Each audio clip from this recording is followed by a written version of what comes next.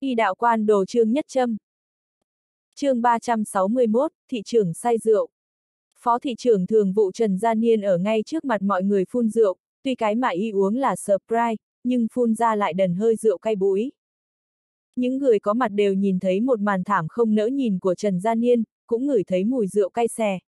Tôn Đông Cường lập tức đưa ra kết luận, khẳng định có người đổ rượu trắng vào bên trong surprise mà Trần Gia Niên uống, gã nhìn chằm chằm vào Trương Đăng Cao, vừa rồi người đổ surprise cho Trần Gia Niên chính là Đăng Cao, cho nên gã là người bị hiểm nghi lớn nhất.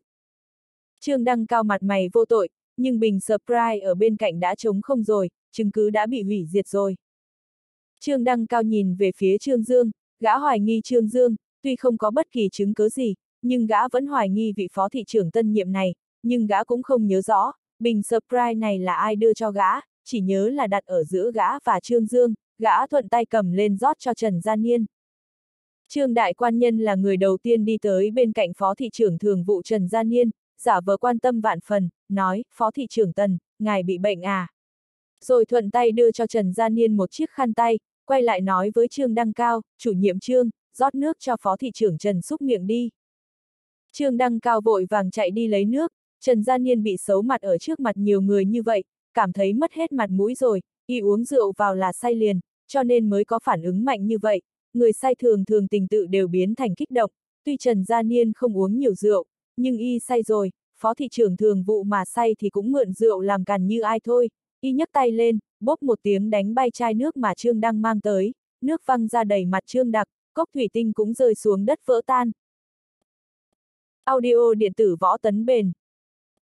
Trương Đăng Cao chẳng hiểu thế nào mà lại nói ra một câu mà gã ngàn vạn lần không nên nói, thị trưởng Trần, ngài uống say rồi.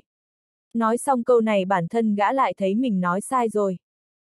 Nhưng lời đã nói ra thì không rút trở lại được, Trần Gia Niên trợn mắt lên nhìn chằm chằm vào Trương Đăng Cao, chỉ vào mũi gã mắng, anh đáng dám, tôi. Không say.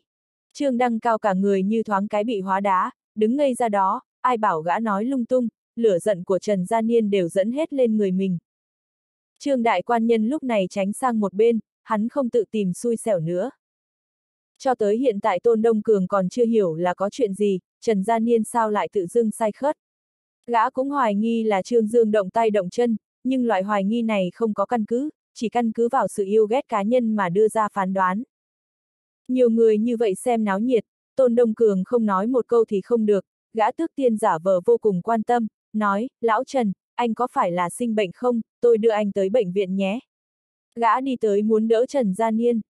Trần Gia Niên lúc này hơi rượu bốc lên đầu, dùng sức hất tay một cái, vương bát chi khí bắn ra loạn xạ, hơi rượu có thể khiến một người mất cảm giác, có thể khiến người ta bỏ đi lớp ngụy trang, để lộ ra thế giới nội tâm chân thực của mình. Phó thị trưởng thường vụ Trần Gia Niên xưa nay không nếm một giọt rượu, bởi vì y biết tử lượng của mình quá kém, chỉ cần nếm một chút là đảm bảo xảy ra chuyện, nhưng những người khác lại không biết chuyện này. Trần Gia Niên lúc này đã lục thân bất nhận rồi, y nhìn chằm chằm vào Tôn Đông Cường, cút. Mày con mẹ nó là cái thá gì? Hiện trường lặng ngắt như tờ, tất cả mọi người đều ý thức được hôm nay có náo nhiệt để xem rồi đây, sắc mặt Tôn Đông Cường thoáng chốc đã tái xanh, ở trước mặt nhiều người như vậy bị Trần Gia Niên nhục mạ như vậy, thân là thị trưởng phong trạch, mặt mũi này còn biết để đi đâu nữa. Gã nghiêm giọng nói, đồng chí Gia Niên. Trần Gia Niên lảo đà lảo đảo, dùng ngón tay chỉ vào ngực Tôn Đông Cường một cách rất gân hấn, tao mắng mày thì sao chứ? Mày con mẹ nó là cái thá gì? Nếu không phải là có bố vợ là chủ nhiệm đại hội nhân dân, thằng mặt trắng như mày dựa vào gì mà đòi làm thị trưởng phong trạch? Hừ, thằng cha này nấc rượu một cái. Tôn Đông Cường tức đến nỗi cả người run rẩy, Trần Gia Niên, anh uống nhiều rồi. Lần này ngay cả vị thị trưởng đại nhân này cũng không nể mặt Trần Gia Niên nữa. Trương Dương đứng ngoài quan sát, Bình surprise vừa rồi đưa cho Trương Đăng Cao là hắn lặng lẽ động tay động chân, hắn vốn là muốn đùa dai, bỏ chút rượu trắng vào hãm hại Trương Đăng Cao, nhưng không ngờ tử lượng của Trần Gia Niên lại kém như vậy cùng lắm chỉ uống nhầm một hai ngụm mà đã khiến y thành ra thế này, đúng là vô tâm trồng liễu liễu thành cây, vị phó thị trưởng phong trạch này mang tới một kinh hỉ bất ngờ. Trương Đăng Cao và phó trưởng Trinh xông lên, mỗi người nắm lấy một cánh tay của Trần Gia Niên, muốn khuyên y đi, Trần Gia Niên hơi rượu bốc lên đầu, thân thể dướn lên trước, gân xanh trên cổ nổi hết cả lên, tao kinh bỉ nhất chính là đám con cháu cán bộ chúng mày. Chúng mày có thành tựu công tác gì chứ? Có bản sự gì chứ? Chẳng phải là được sinh ra trong gia đình tốt, xuất thân tốt thôi ư. Tao nhổ vào, con mẹ nó toàn là dùng người không khách quan. Tao kinh. Trương Dương ở bên kia suýt nữa thì cười ra tiếng, Tôn Đông Cường tức đến nỗi tay nắm chặt lại, gã cũng có máu nóng, nếu không phải là cố kỵ thân phận thị trường, gã khẳng định đã xông lên cho Trần Gia Niên ăn đấm. Trương Đăng Cao và Phó Trường Trinh cũng dướn lên, dùng sức kéo Trần Gia Niên, Trần Gia Niên đã say đến hổ đồ rồi, đặt mông ngồi xuống đất, nhất quyết không đi. Trương Dương quay người lại nói với đám thuộc hạ, nhìn ra mà nhìn, mau vào làm đi, ai về đơn vị nấy. Gặp được loại náo nhiệt này, bất kể là ai cũng muốn xem, nhưng Trương Dương đã nói vậy, chẳng ai tiện ở lại, đám cán bộ lặng lẽ đi, trước khi đi còn quyến luyến nhìn phó thị trưởng Trần say khướt một cái. Đám người này tuy đi rồi, nhưng người ở mặt ở hiện trường vẫn còn không ít, nhân viên công tác của sở chiêu đãi chính phủ thành phố nghe thấy động tĩnh đều bị hấp dẫn tới, bọn họ không dám tới gần, đều đứng ở đằng xa, vừa thì thầm to nhỏ vừa cười trộm. Lúc Trần Gia Niên đang hồ ngôn loạn ngữ, bí thư thị ủy Thẩm Khánh Hoa và thư ký thị ủy Tề Quốc Viện đi tới, y không biết từ đâu lấy được một cốc nước lạnh, hất thẳng vào mặt Trần Gia Niên, Trần Gia Niên bị nước lạnh hắt cho run bắn người, há miệng trực mắng, con. Khi y nhìn thấy trước mặt là Thẩm Khánh Hoa, cả người ngây đơ ra đó, toàn thân trong nháy mắt đầm đìa mồ hôi, Trần Gia Niên tỉnh rượu rồi, thân thể của y mềm oặt ra đó, may mà Trương Đăng Cao và Phó trưởng Trinh đỡ y, Trần Gia Niên run giọng nói, bí thư thẩm. Thẩm Khánh Hoa hừ lạnh một tiếng, nói thế này thì còn ra thể thống gì nữa. Trần Gia Niên trong đầu là một mảng trống rỗng, y thực sự không nhớ mình vừa rồi đã nói gì, đã làm gì. Thẩm Khánh Hoa nói với Tôn Đông Cường, xảy ra chuyện gì? Tôn Đông Cường trả lời rất ngắn gọn, đồng chí Gia Niên uống nhiều rồi. Những lời này quả thực là thật, nhưng bên trong sự bình đạm lại ẩn chứa sự bất mãn và oán niệm của gã đối với Trần Gia Niên, ngươi làm một thì ta làm mười lăm, bản thân Tôn Đông Cường lại không phải là loại lòng dạ rộng rãi gì, ở trước mặt nhiều người như vậy bị Trần Gia Niên nhục mạ, cục tức này, gã bất kể là như thế nào cũng không nuốt trôi nổi. Trần Gia Niên đầu cúi gằm, giống như là một con gà chống bại trận. Thẩm Khánh Hoa lại hừ một tiếng, ném lại một câu cuối cùng rồi bỏ đi, Trần Gia Niên, tới văn phòng của tôi một chuyến. Trần Gia Niên mặt mày ủ rũ đi theo, Tôn Đông Cường nhìn Trương Dương một cái, thằng ôn này hai tay đút túi, thản nhiên như không đứng ở đó, giống như là chuyện này chẳng liên quan gì tới hắn. Tôn Đông Cường cũng không nói được gì, lắc lắc đầu, quay người bỏ đi. Trương Dương cũng đi.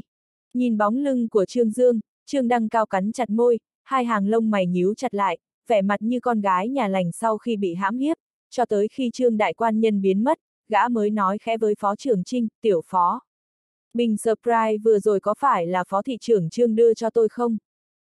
Tôi không thấy. Trương Dương quay về văn phòng chưa bao lâu thì trưởng thư ký thị ủy Tề Quốc Viễn tìm hắn nói chuyện, nội dung đàm thoại xoay quanh bữa trưa ngày hôm nay, Tề Quốc Viễn nói, Phó Thị trưởng Trương, các anh trưa nay ở sở chiêu đại chính phủ ăn uống linh đình như vậy, chẳng lẽ không rõ tiêu chuẩn chiêu đãi của chính phủ thị ủy chúng ta ư? Trương Dương biết rõ còn giả vờ hồ đồ, tiêu chuẩn chiêu đãi gì cơ. Tề Quốc Viễn thực sự cho rằng hắn không biết, liền nhấn mạnh, bốn món thức ăn một món canh, bữa trưa cấm rượu, đây là bí thư thẩm quy định. Trương Dương cười nói, tôi còn tưởng là chuyện gì, chúng tôi không làm trái quy định mà, anh có thể đi điều tra, chúng tôi nhiều người như vậy ăn cơm, chẳng phải chỉ mất có 350 đồng, ăn cơm tự trả tiền có tính là vi phạm quy định không? Hơn nữa chúng tôi cũng không uống rượu, bữa trưa chỉ uống Sprite và Coca, anh có thể đi điều tra, đúng rồi, thị trưởng tôn có thể làm chứng. Tề Quốc Viễn nói, các anh không uống rượu, sao phó thị trưởng Trần lại say đến mức như vậy? Trương Dương nói, cái này thì anh phải đi hỏi y, nói chung là y không uống rượu ở bàn chúng tôi, tôi cũng lấy làm ra, có phải là y uống ở đâu đó rồi mới tới không? Tề quốc viễn thấy không hỏi ra được manh mối gì, cũng chỉ đành bỏ qua, gã thở dài, nói, phó thị trưởng Trương, sự tình hôm nay có ảnh hưởng không tốt. Trương Dương nói, đồng chí quốc viễn, anh nói vậy tôi không thích nghe đâu, ảnh hưởng không tốt thì có liên quan gì tới tôi. Tôi buổi sáng triệu tập người phụ trách trong phạm vi công tác mà tôi được phân quản tới chính phủ thành phố mở họp, mục đích là để mọi người quen nhau, nghe ngóng sơ bộ hiện trạng vệ sinh và giáo dục của phong trạch, đã tiện khai triển công tác. Họp xong đã là nghỉ trưa rồi, mọi người cũng phải ăn cơm, cho nên tôi mới an bài bữa ăn, tiêu chuẩn của bữa ăn cũng chấp hành đúng theo quy định của chính phủ thị ủy. Phần dư ra là tôi tự bỏ tiền túi ra trả, thế thì có ảnh hưởng gì không tốt. Tề Quốc Viễn cười nói, tôi là bảo chuyện phó thị trưởng Trần uống say. Trương Dương nói, y uống say thì có liên quan gì tới tôi, chúng tôi ăn cơm, y và thị trưởng tôn vừa hay cũng tới ăn cơm, thấy mọi người liền cháo hỏi nhau, bầu không khí vốn rất tốt, ai ngờ lại y lại đột nhiên say. Tề quốc viễn gật đầu, nói tôi cũng chỉ nhắc nhở vậy thôi, có thì sửa mà không có thì tránh, dẫu sao thì hy vọng chuyện tương tự sau này sẽ không xảy ra nữa. Gã cũng biết Trương Dương không phải là nhân vật dễ chơi, đứng dậy cáo từ. Đồng thời vào lúc này, Phó thị trưởng thường vụ Trần Gia Niên đang bị bí thư thị ủy Thẩm Khánh Hoa mắng cho như tát nước vào mặt. Trần Gia Niên là cán bộ do một tay Thẩm Khánh Hoa đề bạt, hành vi của y hôm nay trước tiên là làm trái quy định của bí thư thẩm, khiến Thẩm Khánh Hoa rất là tức giận. Trần Gia Niên hiện tại đã hoàn toàn tỉnh táo lại rồi, y không thể che giấu được sự chán nản ở trong lòng, đây không chỉ là bởi vì y vi phạm lệnh cấm rượu, mà là bởi vì y ở trước mặt mọi người nhục mạ thị trưởng tân nhiệm Tôn Đông Cường.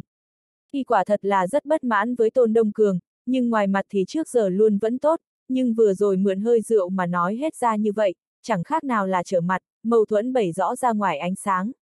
Trần Gia Niên nói khẽ, bí thư Trần, tôi sai rồi, nhưng... Cốc surprise đó có vấn đề, khẳng định là có người đổ rượu vào trong. Thẩm Khánh Hoa tức giận nói, tự mình đánh giấm còn đổ cho người khác. Trần Gia Niên đỏ mặt, nói, bí thư thẩm, nhiều năm như vậy rồi, ông có thấy tôi uống rượu bao giờ không? Tôi chỉ nếm rượu thôi là say, sai lầm cấp thấp như vậy tôi không thể nào phạm phải được, và lại, quy củ mà ngài định xuống, tôi có làm trái bao giờ không? Khẳng định là cốc surprise đó có vấn đề. Là ai đưa cho anh? Trương Đăng Cao.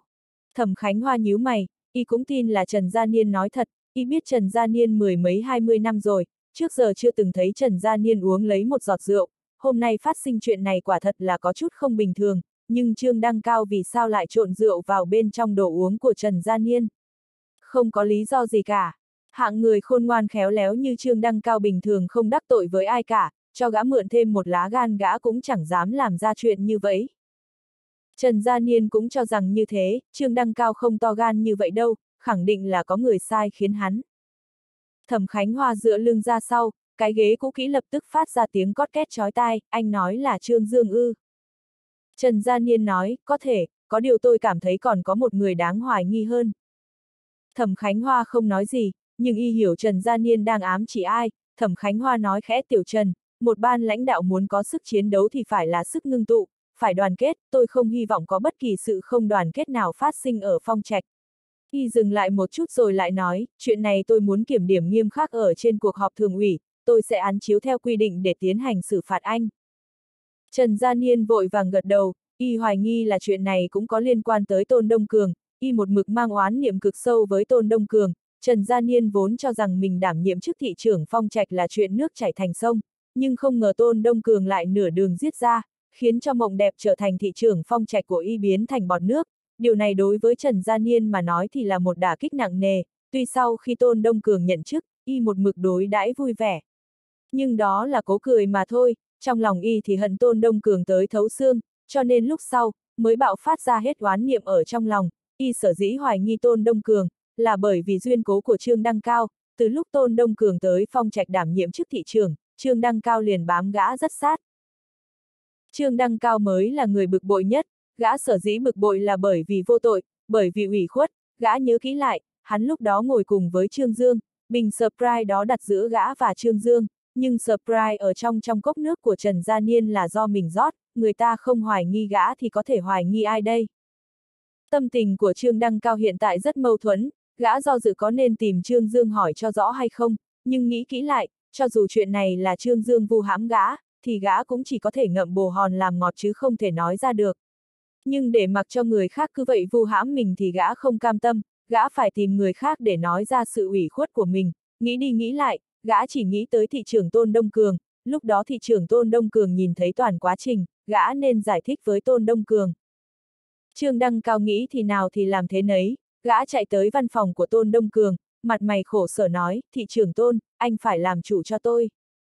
Tôn Đông Cường hôm nay tự dưng bị Trần Gia Niên mắng cho một trận, tâm tình rất không vui, thấy Trương Đăng Cao nói vậy thì có chút bực mình, nói, đồng chí Đăng Cao, chuyện đã quá rồi, hà tất cứ giữ mãi trong lòng. Trương Đăng Cao nói, thị trưởng Tôn, cốc surprise đó là do tôi rót, nhưng tôi thật sự không đổ rượu vào trong. Tôn Đông Cường thầm nghĩ, Thạch Anh cũng không có cái gan đó, gã bỏ cây bút trong tay xuống, nói, vậy thì ai làm? Trương Đăng Cao vốn nói là Trương Dương làm, nhưng ngẫm kỹ lại thấy mình không có chứng cứ, gã liền uyển chuyển nói, bình surprise đó đặt giữa tôi và phó thị trưởng Trương. Tôn Đông Cường nhíu mày, với tác phong hành sự của Trương Dương mà nói, loại chuyện này chắc là do hắn làm, có điều Tôn Đông Cường ngoài miệng thì lại bảo, đồng chí Đăng Cao, chuyện không có chứng cứ thì không thể nói linh tinh được, rất dễ tạo thành mâu thuẫn giữa đồng sự. Trương Đăng Cao nói, tôi chỉ hoài nghi thôi, nói chung chuyện này không phải là do tôi làm. Trương Đăng Cao bụng đầy ủy khuất đứng dậy, gật đầu với Tôn Đông Cường một cái, nói thị trưởng Tôn, tôi đi đây. Tôn Đông Cường ừ một tiếng, đợi khi Trương Đăng Cao bước ra cửa, gã mới mở miệng nói, đồng chí Đăng Cao, bảo phó thị trưởng Trương tới chỗ tôi một chuyến, tôi có việc muốn nói với anh ta. Trương Đăng Cao quay người lại, trong mắt lộ ra vẻ vui mừng, gã cho rằng điều này chứng tỏ thị trưởng tôn muốn ra mặt cho gã, đối với loại người có địa vị như Trương Đăng Cao mà nói, thông minh nhất chính là ôm đùi, đùi của bí thư thị ủy thẩm Khánh Hoa thì gã không ôm được rồi, đùi thứ nhì là tôn đông cường thì gã có thể ôm được, đây cũng là nguyên nhân mà phó thị trưởng thường vụ Trần Gia Niên có chút bất mãn với gã. Sau khi Trương Đăng Cao truyền lời, Trương Dương không lâu sau liền đi tới văn phòng của Tôn Đông Cường, hắn mỉm cười nói, thị trưởng Tôn, tìm tôi có chuyện gì vậy? Tôn Đông Cường tỏ ý bảo hắn ngồi xuống, sau đó thở dài, nói tiểu Trương à, hôm nay rốt cuộc là có chuyện gì vậy? Trương Dương nói, tôi không biết, tôi vừa nhậm chức, không ngờ phó thị trưởng Trần lại có thành kiến với anh như vậy. Tôn Đông Cường ngây ra, thằng ôn này hỏi một đường trả lời một nẻo, dẫn mâu thuẫn lên người mình, Tôn Đông Cường nói, phó thị trưởng Trần uống nhiều nói linh tinh, tôi cũng không để tâm. Trương Dương không khỏi chế nhạo, thị trưởng Tôn lòng dạ rộng rãi, cái này gọi là trong bụng tể tướng có thể chống thuyền, chuyện này nếu mà đặt lên đầu tôi, tôi không nhịn được đâu. Tôn Đông Cường lạnh lùng nhìn Trương Dương, mày con mẹ nó đừng có má suối bảy ông đây, ông đây chẳng lẽ không biết mày có đức hạnh gì chắc. Gã có nhịn để không mắng ra miệng, bình tĩnh nói, tôi là muốn hỏi, bình surprise đó rốt cuộc là sao? Trương Dương lắc đầu, anh hỏi tôi thì tôi hỏi ai đây? Thị lý đã hạ lệnh rõ ràng là bữa trưa cấm rượu, bữa ăn của chúng ta cũng chỉ uống coca và surprise, nhiều người như vậy, cũng không có một ai say rượu, và lại, cốc surprise của phó thị trưởng Trần lại không phải là do tôi rót, đúng rồi, tôi rót coca cho anh uống đấy, anh có say không? Tôn Đông Cường lập tức nghẹn lời. Trương Dương nói, tôi và phó thị trưởng Trần bình thường không thù không oán, tôi chơi anh ta làm cái gì? Là tôi kéo các anh tới ăn cơm ư, món nợ này không thể nào tính lên đầu tâu được. Anh hoài nghi, tôi cũng hoài nghi đây, có phải là có người nhìn tôi không vừa mắt, cố ý làm ra trò này, gây chia rẽ quan hệ giữa tôi và phó thị trưởng Trần hay không? Tôn Đông Cường càng nghe càng tức giận, thằng ôm này rõ ràng là đang ngấm ngầm ám chỉ mình, gã bực bội nói, bỏ đi, chuyện này không nhắc tới nữa, nói chung anh sau này muốn ăn liên hoan, muốn tạo bầu không khí, tốt nhất là đổi chỗ khác, sở chiêu đãi của chính phủ thành phố gần như vậy, có động tĩnh gì thì người của trụ sở thị ủy đều biết hết, ảnh hưởng không tốt. Trương Dương gật đầu, nói, biết rồi. Anh đi đi. Trương Dương trong lòng rất khinh thường Tôn Đông Cường, con mẹ nó còn ra vẻ ta đây cái gì, thằng mặt mo, để xem ông đây sau này thu thập mày thế nào nhé. Chân tướng chỉ có một mình Trương Đại Quan Nhân là biết rõ, chuyện này không thể nói với ai được, Vương Hoa Chiêu vừa rồi, hắn liền than ẩm lên, Trương Đăng Cao hại tôi đến thảm. Trương Đăng Cao ngồi trong văn phòng, mặt xanh lét, mình có phải là tự tìm xui xẻo không? Tự dưng đi rót rượu cho Trần Gia Niên làm cái gì? Vừa rồi trên đường về gặp phải Trần Gia Niên, gã chủ động chào hỏi, Trần Gia Niên căn bản không thèm để ý tới gã, xem ra món nợ này tính lên đầu mình rồi. Trương Đăng Cao ủy khuất, gã cho rằng khốn cảnh của mình hiện tại đều là do Trương Dương tạo thành, khổ nỗi lại không có chứng cớ, giải thích với Tôn Đông Cường nửa ngày, hình như cũng chẳng mang lại tác dụng gì, nỗi oan này chỉ có thể tự mình gánh thôi. Lúc sắp tan làm, Trương Dương gọi Trương Đăng Cao tới văn phòng, Trương Đăng Cao trong lòng bất mãn với Trương Dương, nhưng ngoài mặt thì vẫn cười bồi, ai bảo mình là thuộc hạ chứ, có điều nụ cười chẳng dễ coi chút nào. Trương Dương tỏ ý bảo Trương Đăng Cao đóng cửa lại, sau đó nói, Trương Đăng Cao, tôi đắc tội gì với anh à, anh sao lại hại tôi? Trương Đăng Cao khóc không ra nước mặt, thật sự là đúng là vừa ăn cướp vừa la làng mà, trên thế giới này còn có công lý nữa không? Gã cắn môi, nói tôi không làm, thanh giả tự thanh. Trương Dương nói, bữa cơm trưa nay là do anh an bài, surprise của phó thị trưởng Trần là do anh rót. Trương Đăng Cao không nhìn được nữa rồi, nhưng bình surprise đó đặt giữa hai chúng ta. Trương Dương giả vờ hồ đồ, nói, vậy à? Hắn nghĩ kỹ lại rồi nói, hình như đúng rồi, anh có ý gì, anh là nói tôi động tay động chân lên surprise ư. Trương Đăng Cao biết mình nói sai rồi, lắc đầu như đánh trống, nói tôi không có ý đó, tôi thật sự là không có ý đó. Trương Dương nói, đồng chí Đăng Cao, tôi biết trong lòng anh rất ủy khuất, tôi cũng vậy, rất là uất ức, chúng ta đang ăn cơm vui vẻ, sau cùng lại thành ra thế này, anh nói xem, có phải là có người cố ý mượn chuyện này để chơi tôi không? Trương Dương vừa nói vậy, Trương Đăng Cao liền cảm thấy Trương Dương tựa hồ như cũng vô tội, trừ giữa bữa đi nhà xí ra, không thấy hắn đi đâu nữa cả. Và lại, bữa trưa căn bản không an bài rượu trắng, vậy chỗ rượu trắng đó từ đâu mà có? Chẳng lẽ trong sở chiêu đãi có người muốn chơi họ, hoặc là nói thị trưởng muốn chơi Trương Dương, Trần Gia Niên vô tội đâm đầu vào. Trương Đăng Cao nói, thị trưởng Trương, tôi lát nữa tìm nhân viên liên quan của sở chiêu đãi để hỏi. Trương Dương nói, hỏi cho rõ là tốt nhất. Lúc này điện thoại trên bàn đổ chuông, Trương Dương nhấc máy, nghe thấy giọng nói cung kính ở bên trong truyền ra, thị trưởng Trương, tôi là Lưu Cường đây. Trương Dương ngây ra, lúc này mới nghĩ ra Lưu Cường là cục trưởng cục giáo dục. Lưu Cường nói, thị trưởng Trương, tối nay có rảnh không, tôi có đặt chỗ ở ngư đầu vương, muốn hối báo công tác với anh. Trương Dương cười ha ha, không cần hỏi, đây là bởi vì chuyện ban ngày, sợ đặc tội với mình, cho nên buổi tối muốn bồi tội. Trương Đại Quan Nhân nói, hết giờ làm mà lại bàn chuyện công việc ư. Lưu Cường ngây ra, lập tức nói, vậy thì đê tăng tiến chút tình cảm, đài trưởng lương của đài truyền hình cũng tới. Trương Dương nghe thấy Lưu Cường lôi cả lương diễm ra, trong lòng cũng hiểu, khẳng định là lương diễm nói ra quan hệ bạn học của họ rồi, nữ nhân này đúng là không có trình độ gì cả, hắn có chút hối hận vì đã ủy thác cho lương diễm giúp mình tìm nhà, Trương Dương nói, được. Lưu Cường vui mừng như điên nói, tôi phái xe tới đón anh nhé. Không cần, tôi tự đi. Vậy được rồi, 6 giờ tối, tôi ở Thôi Vân Các của Ngưu Đầu Vương đợi đại giá của thị trưởng Trương. Trương Đại Quan Nhân đặt điện thoại xuống, Trương Đăng Cao vẫn thật thà ngồi đó, Trương Dương đang chuẩn bị gọi gã cùng đi thì điện thoại lại đổ chuông, hắn nhấc máy, lần này là Cục trưởng Cục Vệ sinh Phùng Xuân Sinh gọi tới, Phùng Xuân Sinh cũng mời Trương Dương đi ăn cơm, người ta không thể làm chuyện sai trái, nếu không khẳng định sẽ trột dạ, Lưu Cường và Phùng Xuân Sinh đều như vậy, bọn họ bởi vì chuyện ban sáng mà vô cùng hối hận, tuy vị phó thị trưởng mới tới này nhìn thì như không để trong bụng. Nhưng trong lòng họ thì lại không dám chắc, y muốn tỏ thái độ, nói xin lỗi ngay trước mặt Trương Dương. Trương Dương biết mục đích của Phùng Xuân Sinh và Lưu Cường là giống nhau, hắn đã đáp ứng phía Lưu Cường trước nên không thể đi với Phùng Xuân Sinh rồi, hắn cười nói, lão Phùng à, tôi nay tôi có việc rồi. Phùng Xuân Sinh vội vàng nói, vậy ngày mai, thị trưởng Trương, anh thấy ngày mai được không? Loại cảm giác muôn sao vây quanh này khiến Trương Đại Quan Nhân vô cùng thoải mái, hắn giả vờ trầm ngâm, ngày mai à? Lúc hắn trầm ngâm, Phùng Xuân Sinh ở đầu dây bên kia đang phải chịu đựng sự dày vò, Trương Dương nói, ngày mai chắc là không có chuyện gì, gọi điện thoại sau nhé. Được, Phùng Xuân Sinh vui vẻ đặt điện thoại xuống. Trương Đăng Cao nhìn Trương Dương đang dương dương đắc ý, đột nhiên cảm thấy thằng ôn này có bộ dạng giống y như tham quan, cho dù là mời ăn thì cũng phải tị hiềm, nào có kiểu không chút che giấu như hắn. Trương Dương nói, chủ nhiệm Trương, Lưu Cường mời tôi đi ăn tối, anh cùng đi nhé. Trương Đăng Cao giờ lấy đâu ra tâm tư mà ăn uống, gã lắc đầu, nói không, vợ tôi đang bệnh, tôi phải về nhà làm thức ăn cho lũ trẻ.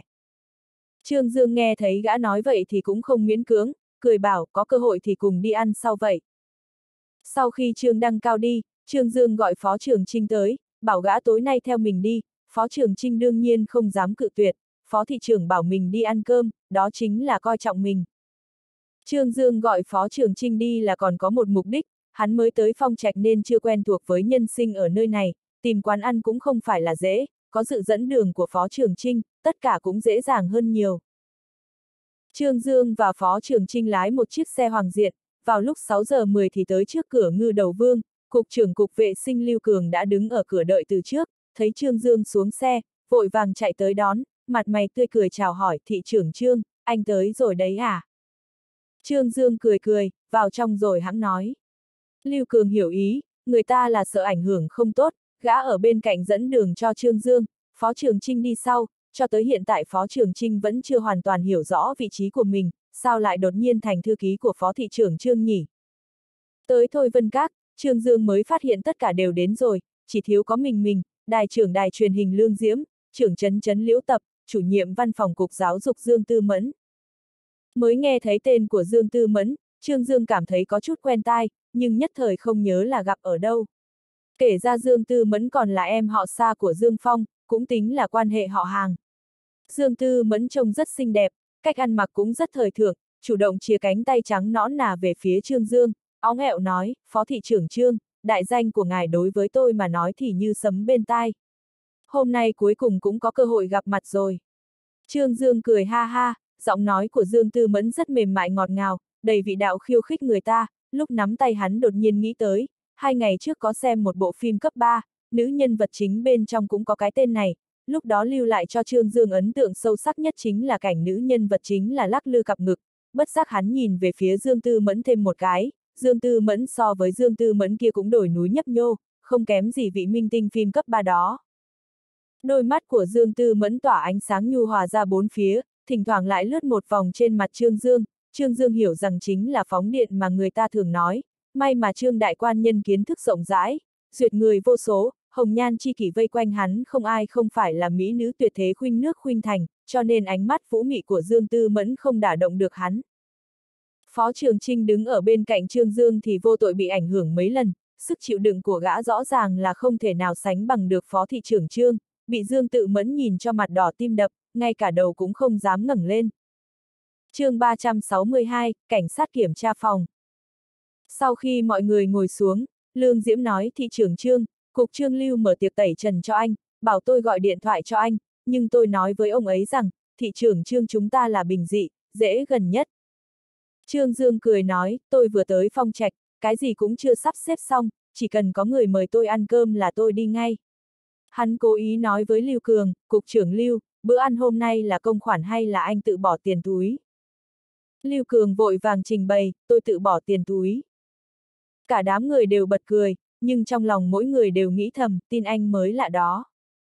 Người rõ chuyện này nhát là Dương Tư Mẫn, cô ta là chủ nhiệm văn phòng của Cục Giáo dục, ở trong Cục Giáo dục quyền lực cũng rất lớn, trừ Cục trưởng Lưu Cường, người có tiếng nói nhất chính là cô ta, trước đây Dương Tư Mẫn là một cô giáo dạy nhạc của Phong Trạch Nhất Trung, cô ta hát dân ca rất tốt, thành phố Phong Trạch có biểu diễn văn nghệ gì cũng thường mời cô ta diễn xuất, trên TV cũng thường lộ mắt, được điều tới Cục Giáo dục 2 năm, từ một cô giáo trung học nhảy lên thành chủ nhiệm văn phòng Cục Giáo dục. Không có quan hệ thì không thể làm được, bên ngoài đều đồn đại giữa cô ta và Cục trưởng Lưu Cường quan hệ mờ ám. Cái này cũng khó trách, Dương Tư Mẫn trời sinh đã có bộ dạng của hồ ly tinh, một đôi mắt phượng có thể phóng điện, lập trường chỉ hơi không kiên định một chút là bị cô ta mê hoặc ngay. Lưu Cường an bài cho Dương Tư Mẫn ngồi cạnh Trương Dương, Trương Đại Quan Nhân mừng thầm trong lòng, Lưu Cường này cũng rất có ý tứ, xem tình hình có vẻ muốn chơi mỹ nhân kế với mình đây. Lưu Diễm cũng không ngờ Lưu Cường lại dẫn Dương Tư Mẫn tới, cô ta cũng hiểu mục đích của Lưu Cường, trong lòng có chút khinh bỉ cách làm của y. Món ăn có tính đại biểu nhất của ngư đầu vương chính là đầu cá, cá được dùng đều câu từ hồ phong trạch, năm nay mực nước của hồ phong trạch hạ xuống rất thấp, ngành đánh bắt cá bị ảnh hưởng, giá cả cũng tăng lên không ít. Trương Dương nhìn cái đầu ca to tướng ở chính giữa, không khỏi cười nói, khoa trương quá, đầu cá lớn như vậy thì cá phải bao nhiêu cân đây? 20 cân, Lưu Cường đáp. Dương Tư Mẫn óng ẹo nói, thị trưởng Trương, tôi đã dặn trước bảo họ chọn con lớn nhất, đầu cá càng to thì càng ngon, ngài thử đi, đầu cá của họ làm là nhất tuyệt đấy. Cô ta đứng dậy múc cho Trương Dương một bát canh, canh trông rất đẹp, màu trắng sữa, Trương Dương uống một ngụm, vào miệng trước tiên là thơm vô cùng, đúng là không tồi, gắp một khối thịt cá lên. Chất thịt mịn, nhạt vừa phải, Trương Dương khen, không tồi, rất không tồi. Hắn đặt đũa xuống nâng chén lên, nói, nào, cảm ơn cục trưởng Lưu đã khoản đãi thỉnh tình. Dương Phong tối qua uống nhiều rồi, hôm nay tinh thần có chút huệ oải, ngay cả nói chuyện cũng không nói, Lương Diễm tức giận đá hắn ở dưới bàn, Dương Phong nói thị trưởng Trương, tôi kính anh. Trừ câu này ra hắn cũng không nói câu gì khác, hắn vừa uống xong chén này, lập tức cảm thấy dạ dày không thoải mái, vội vàng đứng dậy đi ra ngoài. Lương Diễm nhìn thấy sức chiến đấu của chồng kém như vậy, cũng chỉ biết than thầm trong lòng. Trương Dương phát hiện tử lượng của Dương Tư Mẫn cũng rất lợi hại, chẳng trách Lưu Cường lại gọi cô ta tới bồi rượu, quả nhiên là có chuẩn bị, sau mấy chén vào bụng, trên khuôn mặt trắng nõn của Dương Tư Mẫn nổi lên một dáng hồng, càng lộ ra vẻ vũ mị, đôi mắt phượng như tiết ra nước, cô ta uống một vòng, đến lượt Phó Trường Trinh thì ôn nhu nói, thư ký Phó, tôi kính anh một chén. Phó Trường Trinh một mực ngồi ở đó không nói gì, nơi này quả thật là không có phần cho gã nói, Dương Tư Mẫn chợt tìm tới gã, khiến cho Phó Trường Trinh có chút hốt hoảng, không cẩn thận làm vãi rượu trong chén ra, vội vàng xin lỗi. Dương Tư Mẫn cười khúc khích, giúp gã rót rượu, nào, chúng ta uống một chén. Phó Trường Trinh nói, tôi không được. Dương Tư Mẫn lẳng lơ nói, nam nhân làm gì có chuyện nói mình không được. Câu này khiến cho mọi người đều bật cười, mặt Phó Trường Trinh lại càng đỏ hơn. Trương Dương khích lệ gã, sợ cái gì? Các đại lão ra còn không uống lại nữ đồng chí nữa là. Uống đi. Nghe thấy mệnh lệnh của lãnh đạo, Phó Trường Trinh lúc này mới cầm chén rượu lên uống cạn với Dương Tư Mẫn. Dương Tư Mẫn nhìn thấy Phó Trường Trinh thẹn hùng như vậy, cảm thấy rất thú vị, thừa thắng truy kích, chuyện tốt phải có đôi, chúng ta ra hai vào đôi, thêm một chén nữa nào. Phó Trường Trinh gặp phải chàng diện này, mặt đỏ như đít khỉ, Dương Tư Mẫn lại dí quá sát, mùi thơm trên người cô ta phả cả vào mũi Phó Trường Trinh, khiến cho tim gã đập thình thịch liên hồi. Trương Dương mỉm cười nhìn biểu hiện của Dương Tư Mẫn, hắn phát hiện nữ nhân này không tầm thường, nữ nhân lẳng lơ thì hắn gặp nhiều rồi, nhưng dám ở trước mặt lãnh đạo mà dở trò lẳng lơ thì đúng là hiếm thấy. Dương Tư Mẫn xem ra rất có lòng tin đối với vẻ đẹp của mình, đáng tiếc cô ta đánh giá thấp phẩm vị của Trương Đại Quan Nhân rồi, đối phó với dạng mới vào nghề như Phó Trường Trinh thì còn được, muốn làm lay động Trương Đại Quan Nhân lọc lõi tình trường thì e rằng cô ta còn phải về tu luyện thêm nhiều. Lương Diễm uống một chén với Trương Dương, nói thị trưởng Trương, bức tranh chữ mà anh viết tôi đã cầm tới rồi, ngày mai sẽ dùng làm ảnh chuyên đề kháng hạn. Trương Dương gật đầu, được, làm ảnh chuyên đề thì phải làm tốt một chút, phải khiến cho nhân dân toàn thành phố nhận thức được tính nghiêm trọng của hạn hán lần này, đề cao nhận thức ưu hoạn của mọi người, triển khai vận động kháng hạn. Lưu Cường rất không thức hời nói, tôi đã bảo cục giáp dục thông chi xuống rồi, động viên cả hệ thống giáo dục và trường tiểu học, trung học, để giáo viên và học sinh của toàn thành phố triển khai quyền góp kháng hạn. Trương Dương nói, giáo viên quyên thì quyên, nhưng đừng có kinh động tới học sinh, học sinh không có thu nhập, nên lấy học hành làm chủ, động viên chúng làm cái gì. Lưu Cường có chút xấu hổ cười cười, vâng, vâng, tôi lập tức sẽ cải chính, lập tức sẽ cải chính. Dương Tư Mẫn nói, thị trưởng Trương thật sự là thương cho những học tử này. Trương Dương cười nói, tôi cũng không trói lọi như cô nói đâu, tôi chỉ cho rằng, mọi người nên tập trung sự chú ý lên công tác trong tay mình, làm giáo dục thì cứ thật thà làm giáo dục, làm y tế thì cứ thật thà nắm vấn đề y liệu, cũng chính là nên làm cái nên làm mà chúng ta thường nói đó, mỗi người đều nên làm tốt chuyện mà mình lên làm, công tác của chúng ta tự nhiên sẽ có thành tích. Lưu Cường nói, thị trưởng Trương nói rất đúng, chúng ta nên thật thà làm công tác bản chức, thân là cục trưởng giáo dục. Tôi nên đặt công tác giáo dục lên số 1. Trương Dương nói, bắt đầu từ ngày mai, tôi sẽ bớt thời gian đi khảo sát các hệ thống, tìm hiểu tình hình thực tế. Lưu Cường nói, xuất lên lớp của phong trạch chúng ta là cao nhất trong cả khu vực Giang Thành, phong trạch nhất trung là trọng điểm của tỉnh, năm ngoái thủ khoa văn của Giang Thành là của phong trạch nhất trung chúng ta. Gã muốn thông qua phương thức này để khoe khoang chính tích của mình. Trương Dương nói, hiện tại giáo dục không thể chỉ chú trọng thành tích, phải chú trọng phát triển toàn diện, phải bồi dưỡng ra nhân tài chân chính cho quốc gia chứ không phải là phân năng lực cao thấp. Nhìn bộ dạng mèo khen mèo dài đuôi của Lưu Cường, Trương Dương không nhịn được mà hắt cho y một bát nước lạnh. Lưu Cường nói, cái mà thị trưởng Trương nói chính là trọng điểm của giáo dục thời đại mới. Dương Phong từ bên ngoài bước vào, sắc mặt không dễ coi chút nào, ngồi cạnh bà vợ Lương Diễm. Lương Diễm rót cho hắn một cốc trà nóng, nói khẽ anh không sao chứ. Dương Phong lắc đầu, giải thích hai ngày hôm nay bận chuyển động viên kháng hạn, ăn uống không theo quy luật, cho nên bệnh dạ dày lại tái phát rồi. Trương Dương nói, trưởng Trấn Dương không khỏe, chúng ta hay là kết thúc sớm một chút đi. Dương Phong vội vàng nói, tôi không say, uống tí trà nóng vào là đỡ hơn rồi. Trương Dương cười nói, thiên hạ không có bữa tiệc nào là không tàn, hôm nay cũng uống nhiều rồi, còn uống nữa là công tác ngày mai bị ảnh hưởng đó. Hắn vừa nói câu này, những người khác tất nhiên là cũng không tiện miễn cưỡng. Dương Tư mẫn mắt phượng đảo quanh, có chút tiếc nuối nói, còn đang định mời thị trưởng trương tới đại thế giới hát. Đại thế giới mà cô ta nói là phòng hát nổi tiếng nhất của phong trạch. Lưu Cường nhân cơ hội bảo, chủ nhiệm Dương chính là ca sĩ số một của phong trạch chúng ta đó. Trương Dương cười nhạt, nói có cơ hội nhất định sẽ thưởng thức giọng hát của chủ nhiệm Dương, hôm nay muốn quá rồi, đến đây thôi. Kỳ thực hiện tại vẫn chưa tới 8 giờ.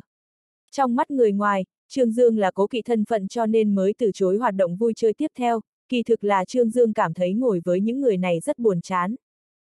Lúc rời khỏi nhà hàng, Dương Phong muốn bảo lái xe chở Trương Dương về, Lưu Cường kỳ thực cũng lái xe tới, có điều y không dám chở Trương Dương, dẫu sao thì chính phủ thị ủy đối với việc dùng xe cũng có quy định nghiêm khắc, ngay cả vị phó thị trưởng Trương Dương này cũng không lái xe tới.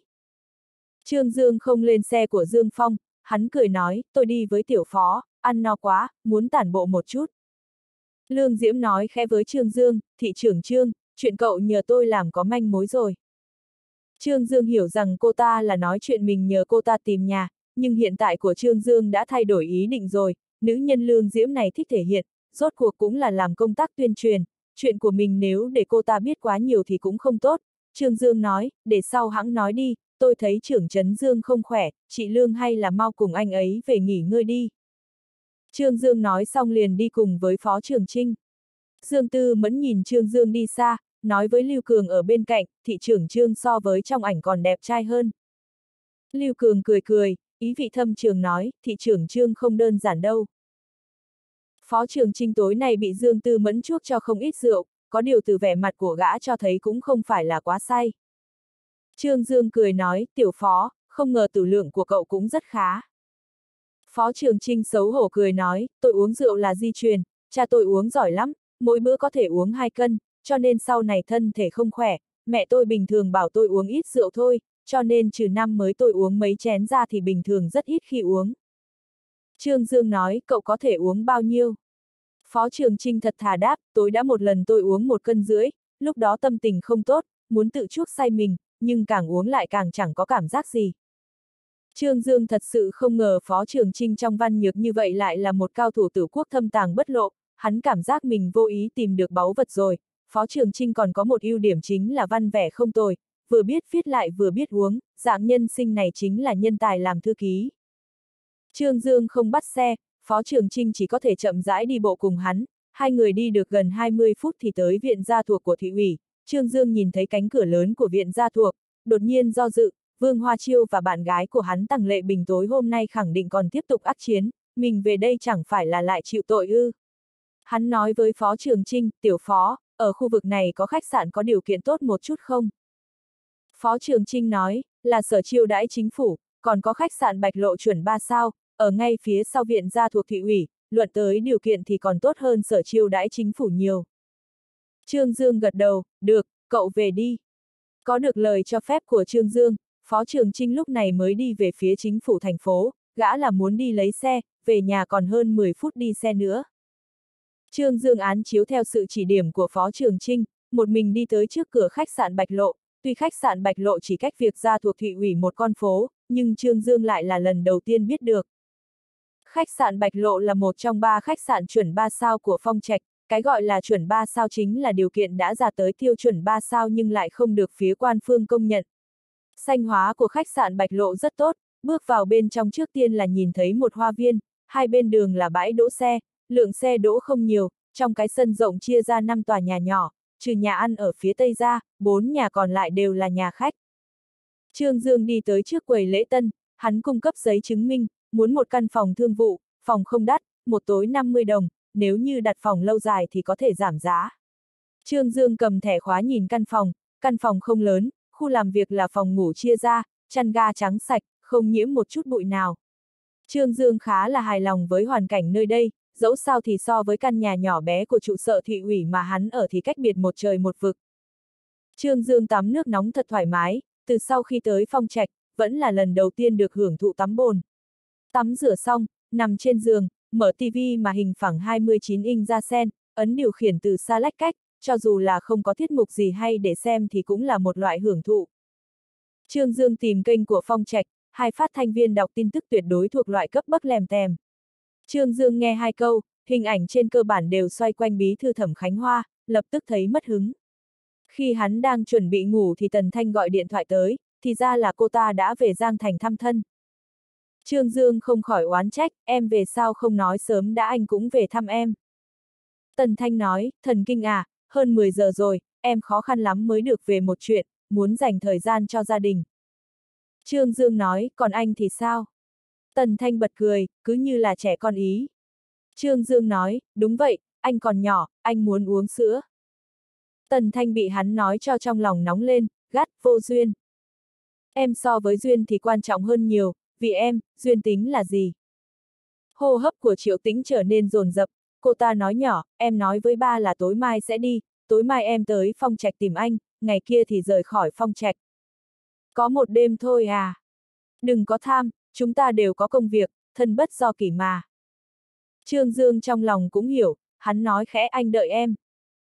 Đặt điện thoại xuống, Trương Đại Quan Nhân nằm trên giường, trong lòng vô cùng thoải mái, hoàn cảnh ở nơi này không tồi, lát nữa sẽ bao phòng dài hạn, ngày mai ở đây chiêu đãi phó thị trưởng tần thật chu đáo. Trương Dương mơ mơ màng màng ngủ thiếp đi, nhưng ngủ chưa được bao lâu thì ở phòng bên cạnh lại vang lên tiếng nam nữ hành lạc nhau, Trương Dương lúc ban đầu còn cho rằng mình nghe lầm, nhưng nghe kỹ lại, tiếng động càng lúc càng lớn, ván giường lắc lư, đầu giường đập vào tường, Trương Đại Quan Nhân cảm nhận được sự chấn động truyền đến rất rõ ràng, hắn bực lắm rồi, mẹ kẹp, rốt cuộc con mẹ nó là có chuyện gì vậy, ta từ viện gia thuộc thị ủy trốn tới đây, sao lại vẫn gặp phải loại chuyện này.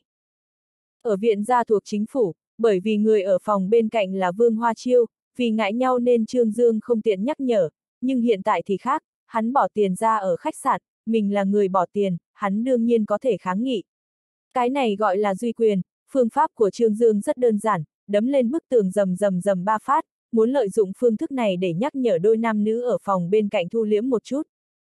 Nhưng sự nhắc nhở của Trương Đại Quan Nhân không mang lại chút hiệu quả nào, người ta không những không thu liếm, ngược lại còn vận động kịch liệt hơn.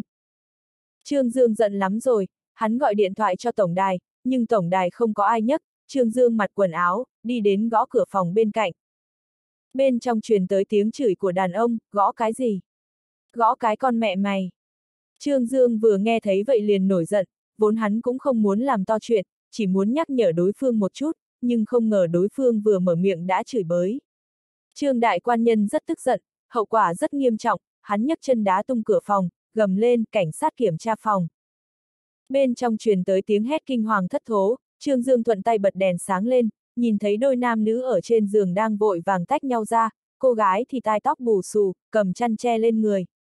Tên đàn ông thì thân thể trần chuồng lộ ra hết trước mặt hắn, có điều tên đàn ông đó rất nhanh liền chấn định lại, gã lạnh lùng nhìn Trương Dương, anh là người của bộ môn nào? Trương Dương cười lạnh, đưa chứng minh thư ra đây. Thẻ công an của anh đâu? Trương Dương lấy đầu ra thẻ công an, hắn trợn trừng mắt lên, con mẹ nó nói ít thôi, đưa chứng minh thư đây. Tình cảnh khiến Trương Dương bất ngờ đã phát sinh, tên đàn ông đó không ngờ lại rút súng từ dưới gối ra, là một khẩu súng hàng thật giá thật, súng chỉ vào đầu Trương Dương, gầm lên một tiếng tức giận, thật thà khai ra cho tao, mày là ai, mày rốt cuộc là ai? Trương Dương ngây ra, ta ích, mình xui xẻo rồi, không phải là gặp đúng tội phạm chứ. Nhưng Trương Đại Quan Nhân là ai? Nếu là xui xẻo thì không đến lượt hắn phải xui xẻo, huống chi có người không ngờ lại dám dùng súng chỉ vào đầu hắn, kết cục của người này được định trước là rất xui xẻo. Khi tên đàn ông đó cho rằng mình đã khống chế được đại cục thì trước mắt đột nhiên hoa lên, còn chưa rõ có chuyện gì thì súng đã bị Trương Dương đoạt lấy, sau đó thì lại thấy nắm đấm của Trương Dương phóng to ở trước mặt mình, dầm một quyền, đấm thẳng lên mũi gã, đánh cho tên đàn ông đó ngã ngửa ra sau, máu chảy ròng ròng, thảm không nỡ nhìn. Nữ nhân đó quấn chăn, nhìn thấy cảnh xảy ra ở trước mặt thì phát ra tiếng hét kinh thiên động địa, cô ta sợ đến nỗi ngay cả sức động đẩy cũng không có. Trương Dương cực kỳ uy phong nhấc dân dẫm lên trên cái tự đã mềm hoạt ra của tên đàn ông đó, mày là cái thá gì, không ngờ lại dám dùng súng chỉ vào tao. Nam tử đó trần chuông, cúi người ôm hạ bộ, thảm hại tới cực độ. Đông tính lớn như vậy đương nhiên là dẫn tới sự chú ý của người ngoài, rất nhanh quản lý trực ban của khách sạn Bạch Lộ mang hai bao vệ chạy tới, quản lý trực ban hôm nay là Lữ Yến, một cô gái, nhìn thấy tình cảnh ở trong phòng thì cũng hét toáng lên, mặt đỏ bừng.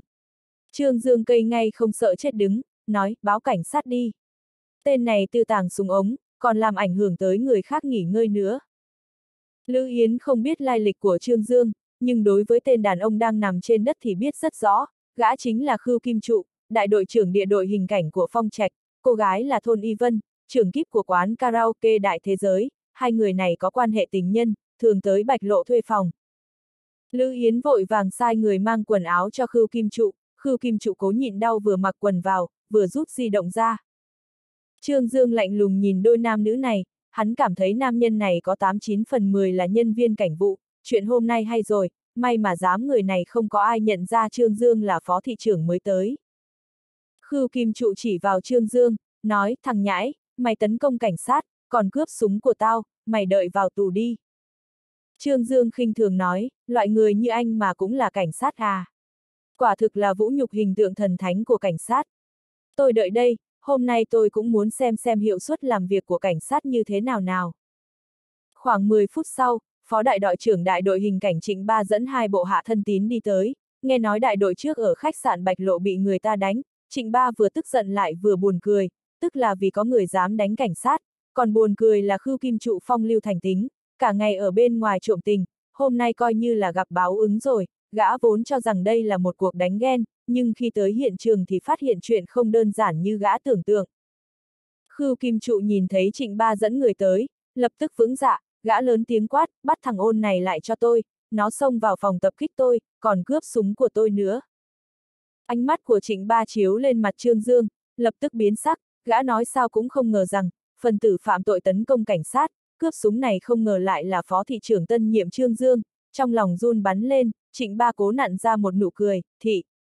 Thị trưởng Trương, ngài sao lại ở đây? Khưu Kim Trụ nghe thấy cách xưng hô của trịnh ba đối với Trương Dương, giống như là bị bị quả lựu đạn đập lên đầu, trong đầu bỗng dưng trống rỗng, tay chân không biết để đi đâu, gã không nghe lầm, người ta là thị trưởng, là thị trưởng Trương. Khưu Kim Trụ ban ngày còn cùng với Cục trưởng Cục Công an Phong Trạch Triệu Quốc Đống nói chuyện về vị phó thị trưởng mới tới này, đang nói có cơ hội phải tới bái phỏng, không ngờ lại gặp nhau ở trong loại tràng diện này, Khưu Kim Trụ trong lòng lạnh toát, mình sao lại xui xẻo như vậy chứ, đi trộm tình lại còn đụng phải phó thị Trường, gã không tìm nguyên nhân từ trên người mình mà nghĩ thầm, hắn theo dõi mình làm cái gì nhỉ? Kỳ thực Trương Dương căn bản không theo dõi gã, là gã và cô gái đó chơi nhau quá điên cuồng, ảnh hưởng tới sự nghỉ ngơi của Trương Đại Quan Nhân.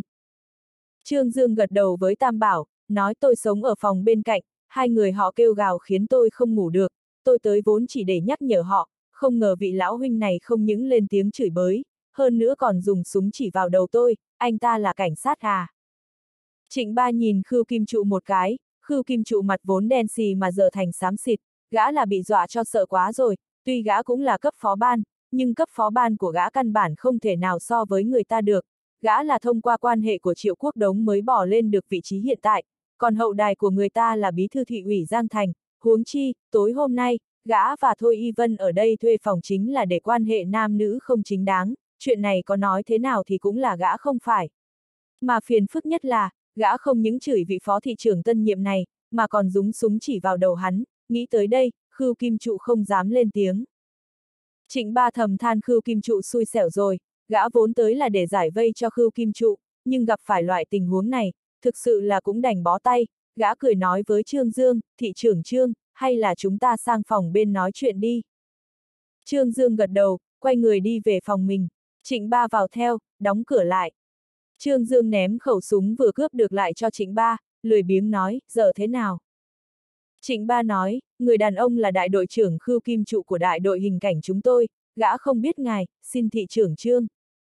Trương Dương trợn hai mắt lên, nói Trịnh Ba, chuyện giữa anh ta và nữ nhân đó tôi không hỏi, tôi chỉ muốn nhắc nhở anh ta nghĩ tới cảm thụ của người khác, anh ta sao lại mắng tôi.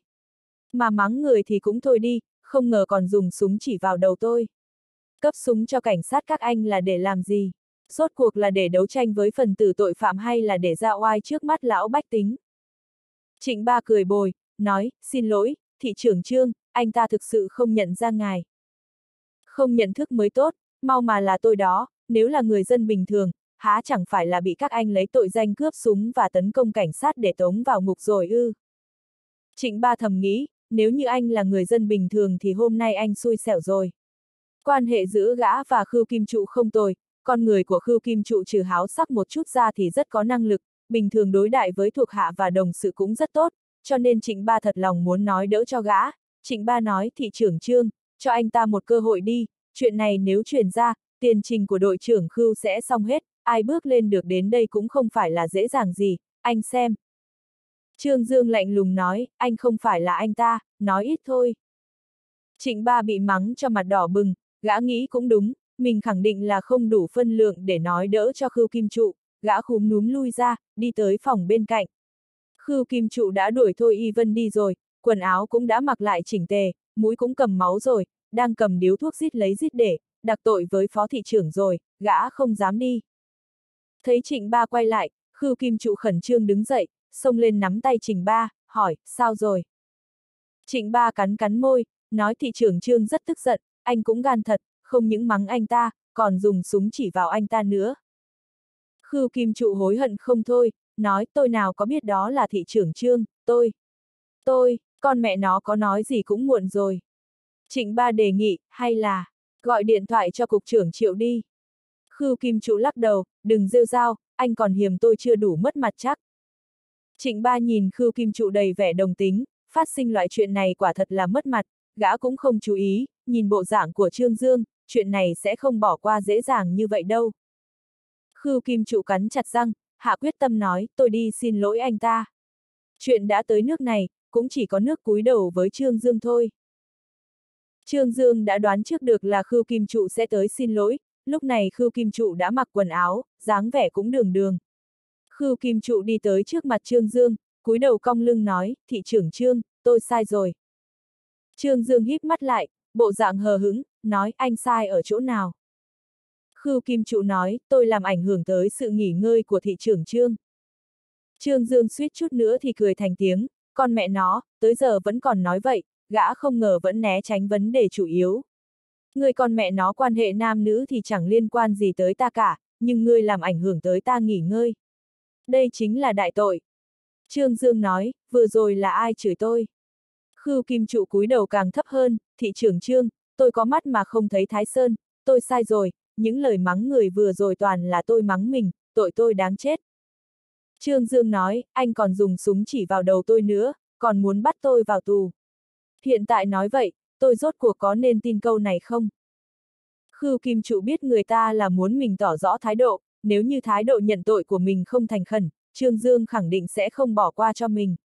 Khưu Kim Trụ hôm nay hiểu rằng rằng đã gặp đại họa rồi, gã mắng vị phó thị trưởng tân nhiệm này, còn dùng súng chỉ vào đầu anh ta, chuyện xảy ra tối này nếu truyền ra ngoài, mình kiểu gì cũng thân bại danh liệt, cho dù Triệu Quốc Đống là bạn học của mình thì cũng không bảo vệ được mình. Khưu Kim Trụ nghĩ tới đây, nghĩ tới tiền trình của mình, nghĩ tới công tác khổ cực nhiều năm, liền bất chấp tất cả, hai chân nhũn ra, quỳ xuống trước mặt Trương Dương, thị trưởng Trương, tôi sai rồi, anh cho tôi một cơ hội đi, tôi xin thề, sau này nhất định sẽ biểu hiện tốt, công tác tốt, không dám lạm dụng chức quyền nữa. Giết người chẳng qua chỉ cần một cái gật đầu, Trương Dương vốn muốn chỉnh thằng cha này thật nặng, nhưng thấy Khưu Kim Trụ nhận sai thành khẩn như vậy, lại quỳ xuống trước mặt mình, tốt xấu gì cũng là nam nhân cao bảy thước, ngay cả dưới gối có hoàng kim cũng không cần, xem ra Khưu Kim Trụ là thật sự sợ rồi, Trương Dương vừa tới phong trạch, cũng không muốn làm quá tuyệt tình, dẫu sao thì nguyên nhân của sự việc tối nay cũng chỉ là Khưu Kim Trụ làm ảnh hưởng tới sự nghỉ ngơi của mình. Trương Dương thở dài, nói, đội trưởng Khưu, anh là một cảnh sát, phải xứng với cảnh huy của mình, vấn đề tác phong sinh hoạt của anh tôi không muốn nói nhiều, nhưng anh lạm dụng chức quyền, không quản được khẩu súng của mình là không đúng. Khưu Kim Trụ gật đầu, Trương Dương không cho gã đứng dậy nên gã vẫn không dám đứng. Trương Dương nói, chuyện tối nay, tôi sẽ coi như chưa từng xảy ra, nếu sau này anh còn có hành vi không đúng với chức vụ, vậy đừng có trách tôi không nể mặt. chương 363, chụp trộm lại. Khưu Kim Trụ nói như đinh đóng cột, thị trưởng Trương, anh yên tâm, tôi nhất định sẽ thắt chặt kỷ luật, yêu cầu mình với tiêu chuẩn của một cảnh sát nhân dân, yêu cầu mình như một đảng viên. Trương Dương thầm chửi, mẹ kiếp, anh đừng có làm bẩn đi ý nghĩa của hai chữ đảng viên, hắn ngáp một hơi, rồi nói, buồn ngủ rồi, anh cũng về nghỉ đi. Khưu Kim Trụ lúc này mới đứng dậy, cung kính nói, thị trưởng Trương, tôi đi đây, không làm phiền anh nghỉ ngơi nữa. Khưu Kim Trụ đi khỏi chưa được bao lâu, giám đốc trực ban của khách sạn Bạch Lộc Lữ Yến đã đến gõ cửa, đầu tiên cô xin lỗi vì đã làm phiền Trương Dương, sau đó nhắc về việc đổi phòng cho Trương Dương. Trương Dương không muốn phiền phức, nhưng thấy cô ấy rất sợ sệt, chỉ có thể gật đầu đồng ý, Lữ Yến đổi cho Trương Dương đến một phòng cao cấp nhất khách sạn Bạch Lộc, một buổi tối phải mất đến 388 tệ, bình thường đều lấy cho khách quý cả, có điều với Trương Dương, phòng này là miễn phí, đó là sự bồi thường cho việc làm phiền đến giờ giấc nghỉ ngơi của hắn.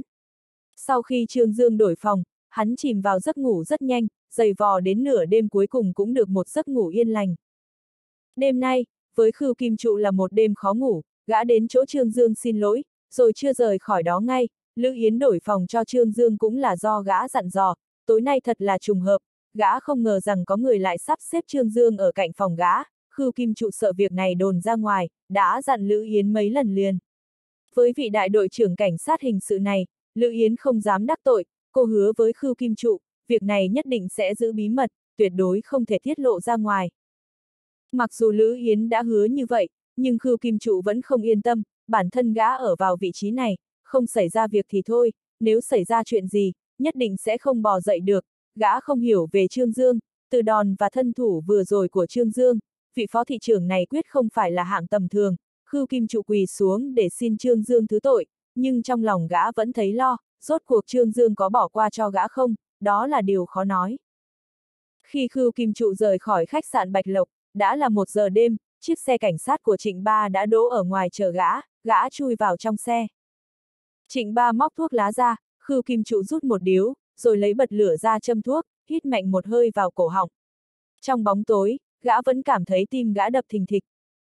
Trịnh Ba nói, bên Thôi Y Vân Anh phải xử lý cho tốt, loại đàn bà đó không biết được ả ta sẽ nói gì đâu. Khưu Kim Trụ vẫn khá tin tưởng Thôi Y Vân, cô ta không dám nói linh tinh đâu, bên khách sạn Bạch Lộc tôi cũng đã dặn dò rồi. Trịnh Ba thở ra một làn khói trắng, trong bóng tối vẫn nhìn thấy con mắt bất an của Khưu Kim Trụ thị trưởng trương nói thế nào. Khưu Kim Trụ nhắm hai mắt lại, đầu dựa vào chiếc ghế, một lúc sau mới nói, anh ta đã đồng ý không truy cứu nữa, nói rằng xem về sau biểu hiện của tôi thế nào. Trịnh Ba nói, sao lại trùng hợp như vậy? Khưu Kim Trụ lắc đầu nói, tôi không biết, tôi thật sự là không biết tại sao, tôi đã hỏi Lữ Yến, có phải có người cố ý chơi tôi không, nhưng cô ấy nói đấy là do người nhân viên trực ban ở quần lễ tân đưa thẻ vào phòng một cách vô ý mà thôi. Trịnh Ba trao mày, anh ta cũng thật là, ở viện gia thủ của thị ủy thì không ở, chạy đến đây làm gì không biết. Khưu Kim Trụ nói, Trịnh Ba, anh nói xem, anh ta có truy cứu chuyện này nữa không? Trịnh Ba thở dài, với tình hình bây giờ của Khưu Kim Trụ, gã đã cực kỳ bấn loạn rồi, Trịnh Ba nói, tôi cũng không biết được, tôi không hiểu về người này, truyền thuyết về gã ta rất nhiều, dù sao người này không phải là người dễ chơi, lần này anh đúng là gặp hạn rồi. Khưu Kim Trụ do dự một lúc, rồi nói, nếu như anh ta nói chuyện này ra ngoài thì chết tôi rồi. Trịnh Ba nói, sao? Anh muốn diệt khẩu. Khưu Kim Trụ cười khổ hạnh nói, tôi đã thê thảm đến như thế này rồi, anh đừng trêu tôi nữa. Trịnh Ba nói, hay là, anh nói với Cục trưởng Triệu một câu, bảo anh ấy đứng ra giúp một chút, nhớ đầu Trương Dương truy cứu tiếp, thì Cục trưởng Triệu cũng có thể đứng ra đỡ hộ anh một chút. Khưu Kim Trụ nghĩ một lát, trong lòng gã vẫn dối như tơ vò, gã thấp giọng nói, đợi chút nữa rồi hắn hay, hy vọng gã ta sẽ giữ chữ tín.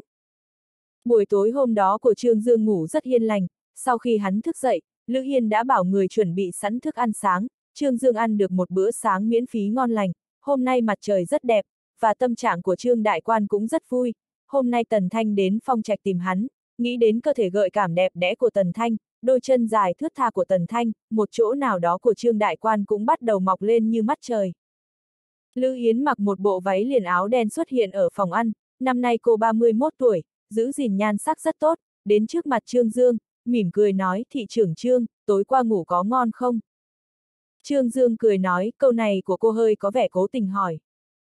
Lữ Yến cười, cô ngồi xuống trước mặt Trương Dương, Trương Dương nhìn thời gian, vừa đúng 7 giờ, còn một tiếng đồng hồ nữa mới đến giờ làm. Lữ bố lấy ra một chiếc thẻ quý khách đưa cho Trương Dương, thị trưởng Trương, đây là thẻ quý khách của khách sạn Bạch Lộc, về sau nếu như anh đến đây, thì mang theo tấm thẻ này là được rồi. Trương Dương nhìn chiếc thẻ, ở một góc độ nào đó, đây cũng là một loại hình hối lộ, Trương Dương quyết không phải là cán bộ ăn hối lộ, hắn nhận lấy tấm thẻ, cười hì hì nói, không cần phải miễn phí đâu, giảm giá cho tôi là được rồi. Lữ Yến nói, được, tất cả đều nghe theo sự sắp xếp của thị trưởng Trương. Trương Dương lấy ra tờ giấy ăn lau miệng, giám đốc Lữ, chỗ này do cô phụ trách sao? Lữ Yến nói, tôi phụ trách khách sạn, tối qua vừa đúng lúc là tôi trực ban. Trương Dương chậm chạp hỏi, Khưu Kim Trụ có thường xuyên đến đây không? Câu hỏi này làm cho Lữ Yến hơi khó trả lời, cô do dự một lúc rồi nói, tôi không quen với anh ta. Trương Dương cười ha ha, hắn phát hiện người phụ nữ này rất thông minh, câu này rõ ràng đang muốn chứng minh giữa họ chẳng có quan hệ gì. Tiếng cười của Trương Dương làm cho Lữ Yến hơi sợ, cô cắn môi nói, thị trưởng Trương yên tâm, về sau tôi sẽ tăng cường quản lý ở khách sạn. Trương Dương đứng dậy nói, thôi không nói chuyện nữa, tôi phải đi làm rồi. Lữ Yến tiễn Trương Dương đến tận ngoài cổng, cô không phải sợ chuyện tối qua liên lụy đến mình, Lữ Yến chỉ là một giám đốc bộ phận của khách sạn, cô cũng là một người phụ nữ rất có dã tâm, cô muốn đi lên, nhưng khổ nỗi không có quan hệ, vị thị trưởng Trương này xuất hiện làm cho cô có chút hy vọng, mặc dù cô ta không biết liệu có tiếp cận được với Trương Dương hay không. Nhưng cô ta sẽ cố gắng để lại cho đối phương một ấn tượng tốt. Trương Dương vốn định dẫn Tần Thanh đến khách sạn Bạch Lộc, nhưng sau khi xảy ra chuyện tối qua, hắn đã không còn định như vậy nữa, người ta đều biết thân phận của hắn cả rồi, đưa Tần Thanh vào đó qua đêm, chẳng phải lại ông con ở bụi này sao? Vừa đến phòng làm việc, Cục trưởng vệ sinh Phùng Xuân Sinh đã gọi điện đến, vẫn là để mời Trương Dương ăn cơm, điều làm Phùng Xuân Sinh thất vọng là, tối nay Trương Dương không dỗi, không phải là vì Trương Dương cố ý từ chối, mà là vì Tần Thanh đến, hắn thật sự không có thời gìn để tiếp Phùng Xuân Sinh. Trương Dương phát chán ở chính phủ thành phố, đang định đi ra ngoài đi dạo, thì thư ký phó trưởng Trinh đã đến thông báo cho hắn chiều họp, hội nghị lần này là đại hội mở rộng thường ủy thị ủy, ngoài mấy vị thường ủy thành phố, tất cả các cán bộ cấp phó sở đều phải tham gia, bao gồm cả những người phụ trách cấp khoa. Trương Dương hơi ngạc nhiên hỏi, những việc này chẳng phải Trương Đăng Cao phụ trách thông báo sao? Sao anh ta lại không đến? Phó Trường Trinh nói, chủ nhiệm Trương bị ốm rồi.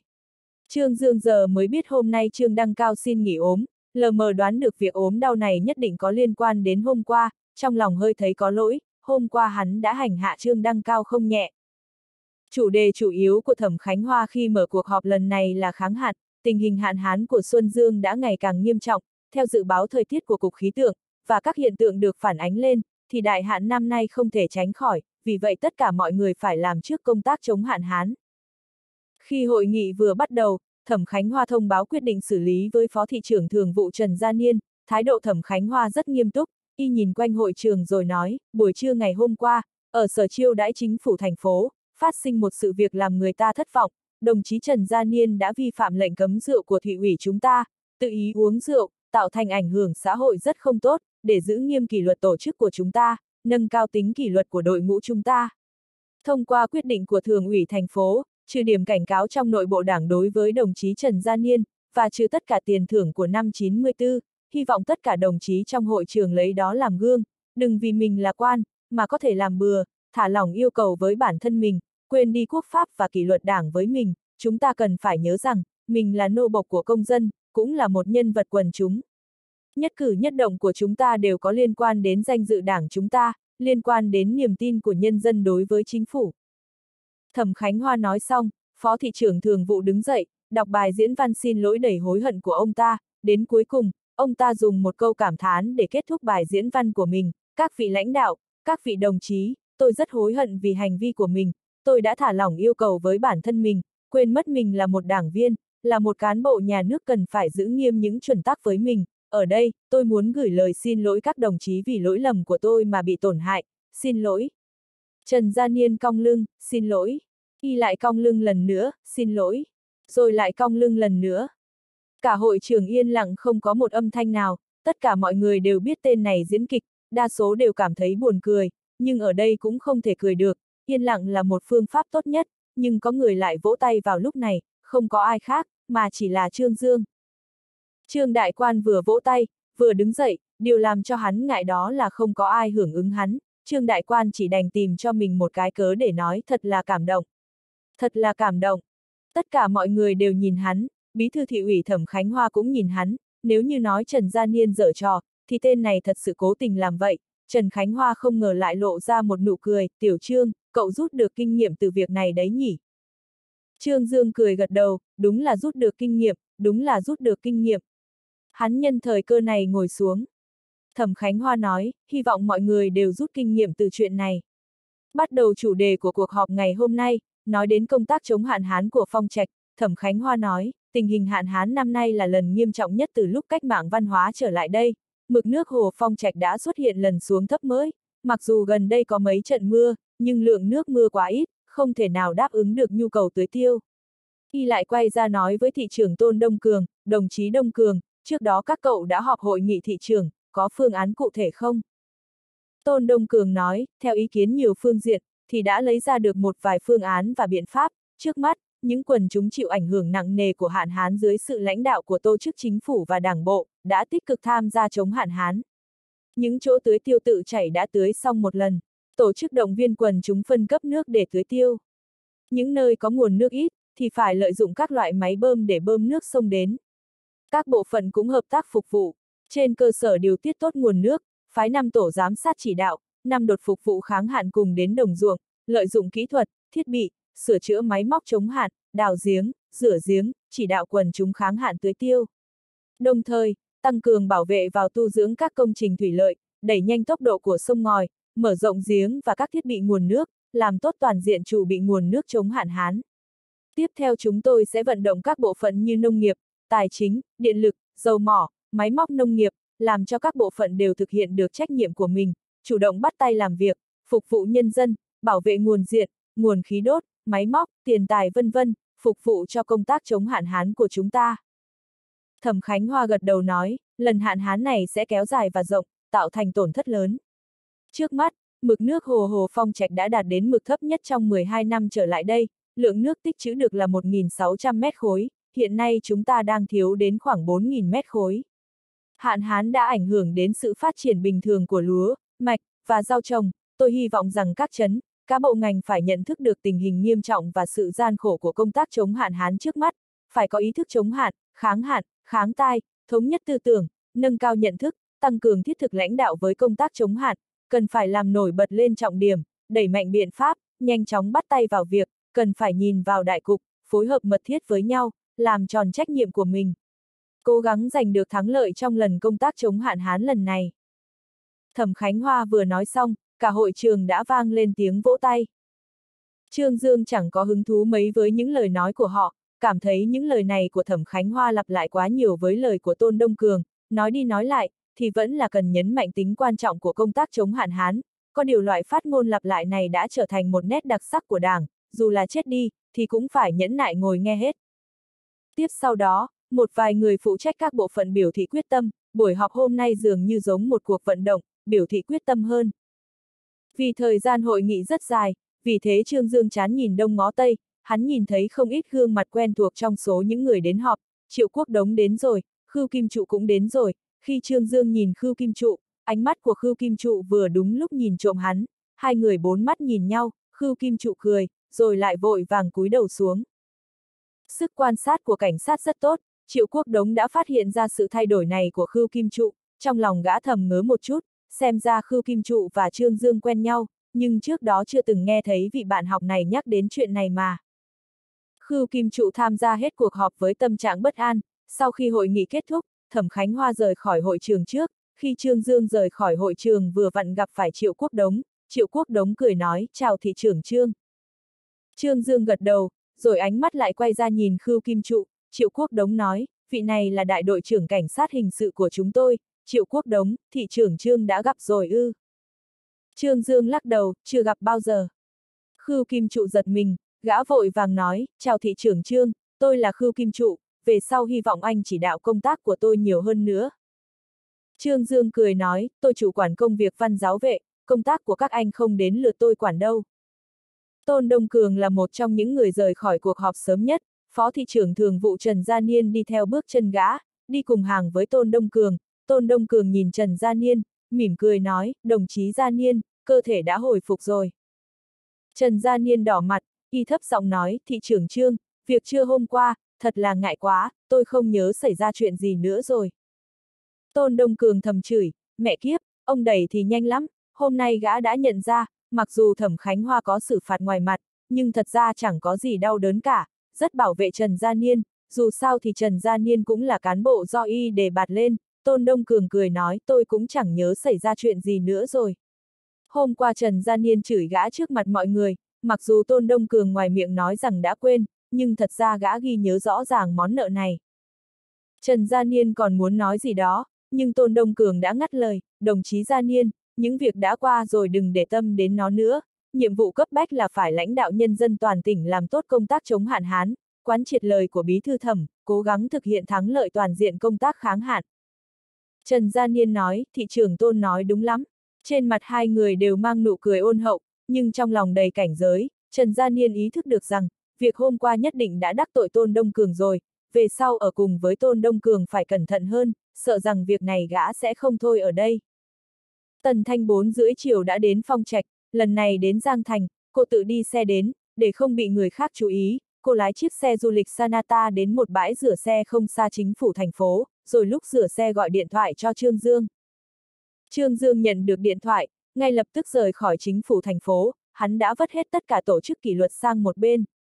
Có điều Trương Dương làm việc cũng rất tử tế, hắn nói với Phó Trường Trinh, có người hỏi tôi, thì cậu bảo tôi đi bệnh viện khám bệnh nhé. Audio điện tử võ tấn bền. Phó Trường Trinh chỉ chiếc đồng hồ, còn gần nửa tiếng nữa là tan giờ rồi. Ý của anh ta là sẽ không có ai hỏi. Trương Dương cười nói, tôi nói là nói ngày mai.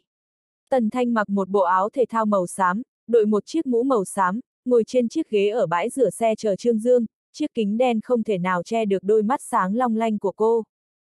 Trương Dương bước nhẹ nhẹ đến, nhìn nửa mặt Tần Thanh, phát hiện ra dù là ở góc độ nào, Tần Thanh vẫn đẹp như vậy, hoàn mỹ như vậy, một làn gió nhẹ nhẹ thổi qua, một vài sợi tóc trước chán Tần Thanh rơi xuống, đôi lông mày thanh tú của cô hơi động đậy, ở góc mắt dường như đã nhìn thấy Trương Dương đang đứng ở đó ngắm mình, đôi môi đẹp đẽ của cô biến thành một đường cong.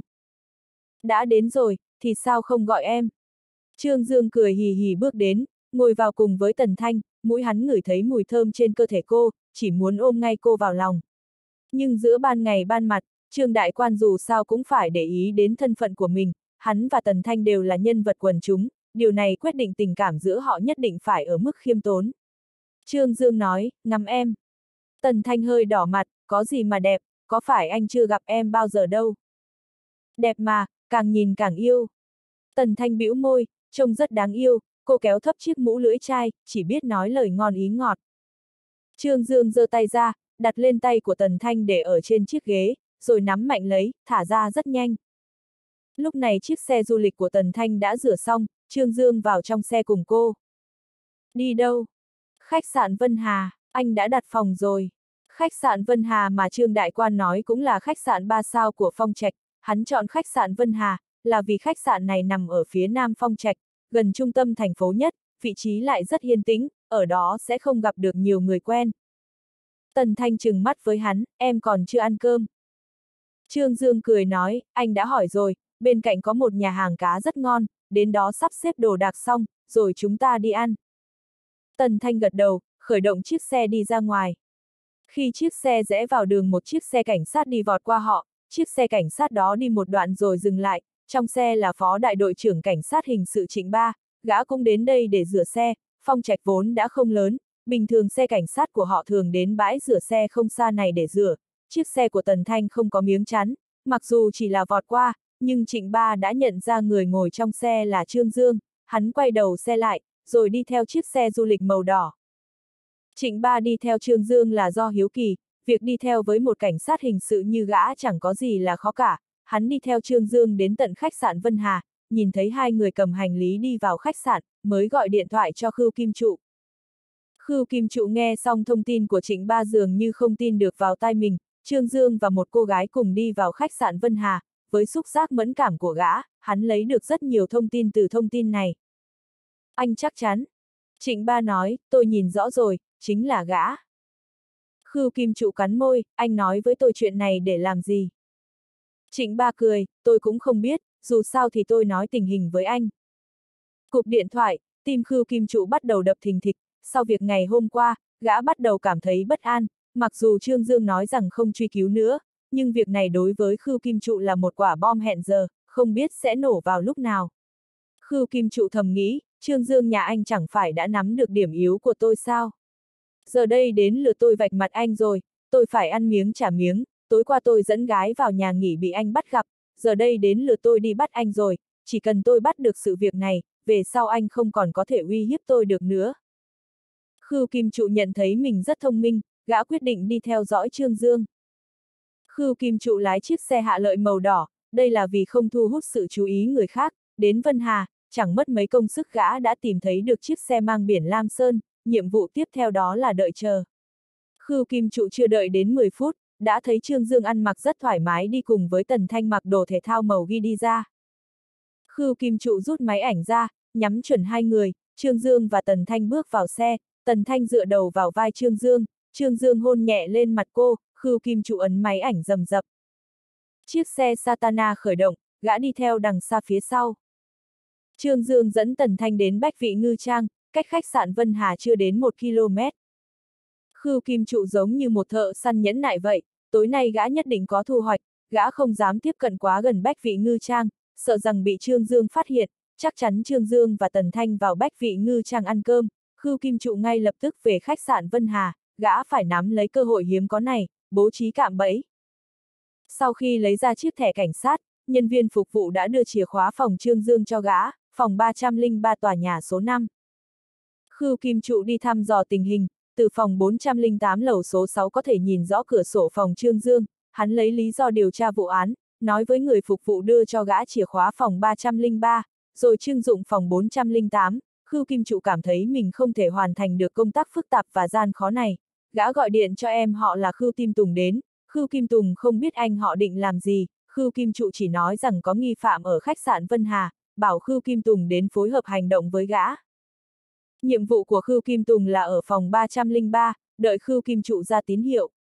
Sau khi nhận được tín hiệu, Khưu Kim Tùng bật máy ghi âm dưới giường lên, sau đó nhanh chóng rời khỏi phòng 303. Khưu Kim Trụ tính hoàn rất hoàn mỹ, nếu như tất cả thuận lợi, gã có thể lấy được ảnh của thị trưởng trương và một người phụ nữ, nếu không chụp được gì, thì gã vẫn có đoạn băng ghi âm để dùng. 8 giờ tối, chiếc xe Satana màu đỏ trở về bãi đỗ xe khách sạn Vân Hà, Khưu Kim Trụ thông báo cho Khưu Kim Tùng ngay lập tức. Trương Dương và Tần Thanh ăn uống rất vui, hai người bước xuống xe, vì đêm khuya, nên Tần Thanh chủ động viện lấy tay Trương Dương, Trương Dương nhìn bốn phía một cách cảnh giác, từ lần trước vụ Tần Thanh và hắn bị cánh nhà báo chụp trộm, hắn rất cảnh giác, hắn mới đến phong trạch, không quen biết nhiều người, nhưng Trương Dương vẫn rất cẩn thận. Tần Thanh dùng ngón tay véo lấy tay hắn, nhìn gì thế? Sợ rằng có người chụp trộm sao? Trương Dương cười nói, anh phát hiện rằng, làm quan ngày càng lớn, thì gan ngày càng nhỏ. Tần Thanh thở dài nói, ai cũng chỉ nhìn thấy cái uy phong ở bề mặt, ai mà nhìn thấy những khổ sở đằng sau lưng chứ, đồng thời với sự sở hữu quyền lực, sẽ phải nhận lấy những gò bó nhất định, quyền lực càng lớn, loại cảm giác gò bó và áp lực này sẽ làm cho anh không thở được. Trương Dương sau khi xác định không có ai đi theo họ, mới yên tâm ôm lấy eo Tần Thanh, họ bước vào đại đường lầu số 5, khi đi vào thang máy, một người đàn ông sượt qua người họ, người đàn ông đó quay ra nhìn Tần Thanh, Tần Thanh cúi đầu xuống. Trương Dương và Tần Thanh đi vào thang máy, hắn không biết rằng người đàn ông đó chính là em họ của Khưu Kim Trụ Khưu Kim Tùng. Đến phòng số 303, Trương Dương nhìn bên dưới cửa, trao trao mày, thấp giọng nói, không đúng. Tần Thanh nói, có gì không đúng. Trương Dương cúi người, khi hắn sắp đi đã dính một lớp băng dính lên khe cửa, giờ đây miếng băng dính đã bị nới rộng ra, có người đã động vào cửa phòng. Đây là thứ Trương Dương học được từ trên quyển sổ gián điệp của Quốc An. Tần Tăng cảm thấy Trương Dương hơi sợ sệt, thấp giọng nói, có lẽ là người phục vụ đã vào để quét dọn. Trương Dương lắc đầu, không thể. Hắn thấp giọng nói, sau khi đi vào em đừng nói gì, em đi kéo rèm cửa vào, anh kiểm tra một chút. Tần Thanh thấy Trương Dương trịnh trọng như vậy, trong lòng cũng cảm thấy nặng nề, cô gật đầu. Sau khi mở cửa phòng, Trương Dương bật đèn trong phòng lên, Tần Thanh thì đi kéo rèm cửa sổ, khi cô kéo rèm cửa sổ, cô nhìn ra phía ngoài, trên lầu đối diện đều sáng đèn, chỉ có lầu 3, 4 là không bật đèn. Đây là nơi Khưu Kim Trụ đang ẩn nấp, gã sợ rằng ánh đèn sẽ làm lộ hành tung của mình, nên không dám bật đèn, nhưng gã không ngờ rằng việc này đã làm chỗ ẩn thân của gã bị lộ ra. Sau khi Tần Thanh kéo rèm cửa vào, Trương Dương bắt đầu lục soát những chỗ bất thường trong phòng, đến tận bây giờ, Tần Thanh vẫn cảm thấy Trương Dương hơi quá căng thẳng, khi Trương Dương phát hiện ra dưới gầm giường có gắn thiết bị thu âm, Tần Thanh phát ra một tiếng kinh ngạc, mắt cô trừng lên, trên mặt cô đầy sự giận dữ. chương 364, thị trưởng nói chuyện. Khưu Kim Trụ không chụp được cảnh trong phòng, hơi thất vọng, lúc này cửa phòng vang lên tiếng gõ cửa, sau khi mở cửa, em họ gã là Khưu Kim Tùng đi vào, Khưu Kim Tùng nói anh, sao anh không bật đèn? Khưu Kim Trụ nói, em đặt xong máy rồi à? Khưu Kim Tùng gật đầu, Khưu Kim Trụ thở dài một tiếng, hắn về đến cửa sổ nhìn một lát, phòng Trương Dương đã tắt đèn, Khưu Kim Trụ lộ ra một nụ cười nham hiểu. Chỉ cần lần này gã lấy được chứng cứ, hề hề. Khưu Kim Tùng nói, anh à, gã đó phạm tội gì? Khưu Kim Tùng nói, em bỏ ngay cái kiểu chất phất đến cùng đi được không? Khưu Kim Tùng vẫn còn muốn nói nữa, nhưng Khưu Kim Trụ đã xua tay, em về trước đi, ở đây không còn việc của em nữa rồi. Khưu Kim Dùng rất sợ người anh họ này, gã gật đầu, quay người lấy đồ đạc của mình, rồi đẩy cửa phòng. Bên ngoài có một bóng người chắn đường gã, Khưu Kim Tùng hơi ngạc nhiên ngước đầu dậy, chưa đợi đến lúc gã nhìn thấy được gương mặt của đối phương, thì đối phương đã giáng một quả đấm vào mặt hắn, làm cho Khưu Kim Tùng ngã lăn ra mặt đất, Khưu Kim Trụ nghe thấy âm thanh đó vội chạy ra ngoài, trong phòng đèn vẫn sáng, Trương Đại Quan cười mà như không xuất hiện trước mắt gã. Khưu Kim Trụ nhìn thấy Trương Dương xuất hiện trước mắt gã, sợ đến độ hồn bay phách lạc, trong tay gã vẫn còn cầm chiếc máy ảnh, đứng ở đó như một pho tượng, không biết nên làm thế nào. Trương Dương cười hì hì nói, đại đội Khưu, thật là có duyên, chúng ta lại gặp nhau rồi. Khưu Kim Trụ run run, rồi một lúc sau mới nói, thật là trùng hợp. Thái độ của Trương Dương ngay lập tức trở nên nghiêm nghị, hắn tức giận hét lên, trùng hợp cái con mẹ nhà mày. Khưu Kim Trụ không biết lấy dũng khí ở đâu ra, gã xông về phía Trương Dương, muốn tìm đường thoát thân, bị Trương Dương đá vào bụng, Khưu Kim Trụ bay lên, rồi nằm mạnh lên giường. Chưa đợi gã đứng dậy, Trương Dương lại xông ra giơ tay bóp lấy yết hầu của gã, rồi lại dí khẩu súng vào. Trương Dương thở dài nói, Khưu Kim Trụ, tôi vốn định tha cho anh một đường sống, nhưng không ngờ anh lại chẳng cần đến nó, vậy thì đừng trách tôi không khách khí. Khưu Kim Trụ nằm ở đó, hai mắt đầy sự sợ hãi, gã run rẩy nói, thị trưởng Trương, tôi sai rồi, anh cho tôi một cơ hội nữa, tôi thề, tôi không dám làm như thế này nữa, tôi không dám làm như thế này nữa. Tên này khóc không thành tiếng. Trương Dương nói, anh nói thật đi, tại sao lại theo dõi tôi? Vì anh nắm được đằng chuôi của tôi, vì vậy tôi. Tôi muốn trả đòn anh. Trương Dương cười lạnh lùng nói, thông minh lắm, anh rất thông minh. Nghĩ đến buổi tối ngày hôm nay của hắn và Tần Thanh đều bị tên này phá hoại, Trương Dương tứ giận, giơ tay tát cho một nhát, làm cho Khưu Kim Trụ đầu đầy sao. Khưu Kim Trụ đứng dậy lắc lư lắc lư, chưa đợi gã đứng vững, Trương Dương đã ấn vào huyệt đạo của gã, Khưu Kim Trụ lại đổ xuống sàn. Khưu Kim Trụ cũng là một tay quyền anh, nhưng trước mặt Trương Dương, chẳng có chỗ nào để phản kháng. Gã giờ đây hối hận đến cực điểm, nếu như cho gã một cơ hội làm lại từ đầu, gã sẽ không chọn cách theo dõi Trương Dương, tên này không phải là người, gã làm giấu giếm như vậy, mà vẫn bị tên đó phát hiện. Trương Dương thả Khưu Kim Trụ ra, Khưu Kim Trụ quỳ xuống, đây là lần quỳ thứ hai trong vòng hai ngày, Khưu Kim Trụ dùng tay tát lên mặt mình, thị trưởng Trương, tôi đáng chết, anh tha cho tôi đi, anh cho tôi một cơ hội lần này thôi, quá tam ba bận, nếu như tôi dám làm điều gì có lỗi với anh nữa, tôi sẽ tuyệt tử tuyệt tông. Trương Dương nhìn Khưu Kim Trụ một cách khinh bỉ, tên này ít nhất cũng là đại đội trưởng cảnh sát hình sự phong trạch, mà lại chẳng có chút trí khí nào như vậy, hơi một chút là quỳ xuống, Trương Dương lạnh lùng nói, tối qua anh nói còn hay hơn cả hát, hôm nay chẳng phải vẫn làm việc xấu đó ư. Khưu Kim Trụ nói, thị trưởng Trương, tôi bị ma nhập, vì thế mới làm việc ngu xuẩn đến vậy, anh cho tôi một cơ hội lần này, tôi thề, tôi sẽ không dám làm thế nữa. Trương Dương nói, anh làm thế nào để tôi tin tưởng được anh? Khưu Kim Trụ bị hỏi ngớ người, gã thật sự không biết phải làm thế nào mới được Trương Dương tin tưởng, cắn môi nói, thị trưởng Trương, anh nói thế nào tôi làm như vậy, chỉ cần anh cho tôi một cơ hội, bảo tôi làm gì cũng được. Trương Dương nhìn Khưu Kim Trụ, trong lòng bắt đầu có suy nghĩ mới, Khưu Kim Trụ trước kia không thù không oán gì với hắn, hắn có đánh chết gã ta cũng chẳng có ý nghĩa gì, nhưng nếu tha cho gã, thì không thể chắc chắn rằng tên này về sau sẽ làm không làm chuyện gì gây hại cho hắn. Dựa vào bản lĩnh của Trương Dương, giết chết Khưu Kim Trụ dễ như giết một con kiến vậy, nhưng chúng ta là cán bộ nhà nước, không thể vì quan hệ của hắn và Tần Thanh mà giết người diệt khẩu được. Trương Dương nhìn Khưu Kim Trụ, rồi lại nhìn sang Khưu Kim Tùng, đột nhiên cười, rồi bình tĩnh nói, cởi quần áo của anh ta. Khưu Kim Trụ ngơ ngác, gì cơ? Trương Dương lắc khẩu súng trong tay, tôi không muốn nhắc lại lần thứ hai. Khưu Kim Trụ gật đầu, tính mạng và danh dự của gã đều nằm trong tay người ta, gã không có quyền phát ngôn, Khưu Kim Trụ làm theo lời của Trương Dương, lột sạch quần áo của Khưu Kim Tùng. Khưu Kim Tùng kinh ngạc nhìn anh họ mình, trong lòng khó hiểu và nhục nhã đến cực điểm. Trương Dương lại nói, anh cũng cởi sạch ra. Khưu Kim Trụ cầu cứu, thị trưởng Trương, khi gã nhìn thấy thái độ trên mặt của Trương Dương, bia rằng việc này không còn nước thương lượng nữa, chỉ đành cắn môi, rồi cởi quần áo trên người gã ra. Trương Dương lại ra lệnh, cởi cả quần lót ra. Khưu Kim Trụ chỉ muốn đâm đầu vào tường chết, nhưng gã không có cái dũng khí đó, thà sống quỷ còn hơn chết đứng, và gã cũng không muốn chết. Trương Dương cầm máy ảnh của Khưu Kim Trụ lên, bấm tách tách vào hai anh em nhà họ, rồi lại nói ôm anh ta lên giường. Khưu Kim Trụ hiểu rằng Phó Thị trưởng Trương muốn mình làm điều gì, gã quỷ gối lần nữa, Thị trưởng Trương, tôi sai rồi, tôi sẽ sửa, anh tha cho tôi. Trương Dương cười nói, tôi có thể cho anh một cơ hội nữa, nhưng anh phải có chút thành ý chứ. Gì nhỉ, tôi còn có việc, nhanh nhanh lên. Khưu Kim Trụ ôm em họ mình lên giường, trong lòng ôm một người đàn ông trần như nhộng, Khưu Kim Trụ nổi cả da gà. Khưu Kim Tùng mặc dù không thể động đậy được, nhưng xảy ra việc gì gã đều nhìn thấy rõ cả, gã cũng nổi hết da gà, cũng cảm thấy tủi nhục, vì cả việc này gã chẳng làm gì cả, gã là một người không liên quan, giờ đây gã là một người bị hại, gã bị anh họ ôm lên giường, bò lên giường trong khi trên người không còn tấm vải, sau đó nghe Trương Dương ra lệnh, anh, đè lên người anh ta. Nước mắt của Khưu Kim Tùng đã chảy ra, nếu như gã có thể cử động, gã sẽ quyết liều chết với Trương Dương, gã cầu cho anh họ mình có chút khí tiết, đại trượng phu, chịu giết chứ không chịu nhục, dù là chết cũng không thể nào chịu nhục như thế này.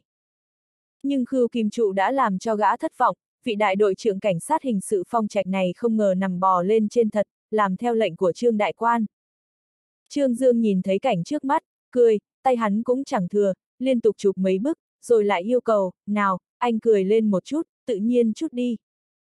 Khưu Kim Trụ cười, gã cười giờ đây còn xấu hơn cả mếu. Đã xong, Trương Đại Quan thu lại tấm phim, rồi vất chiếc máy ảnh lên giường, cười hì hì, mặc quần áo vào đi, cẩn thận cảm đấy. Khưu Kim Trụ mặc quần áo với tốc độ kinh người. Trương Dương giải huyệt cho Khưu Kim Tùng, Khưu Kim Tùng nhanh như cắt tung một nắm đấm về phía Trương Dương, hét lên một tiếng, Trương Đại Quan giơ tay, dùng cán súng đập vào gáy gã, đập một nhát đã làm gã ngất đi. Trương Dương chửi, mẹ kiếp, hai chúng mày đều giống một ruột như nhau, rượu mời không uống, thích uống rượu phạt. Khưu Kim Trụ không dám nói gì, thấp lưng cúi đầu. Trương Dương nói, nói xem, làm thế nào mà đi theo được xe của chúng tôi. Khưu Kim Trụ vẫn còn chút nghĩa khí, tôi vừa vặn nhìn thấy hai người ở bãi rửa xe, vì thế đã đi theo đến đây.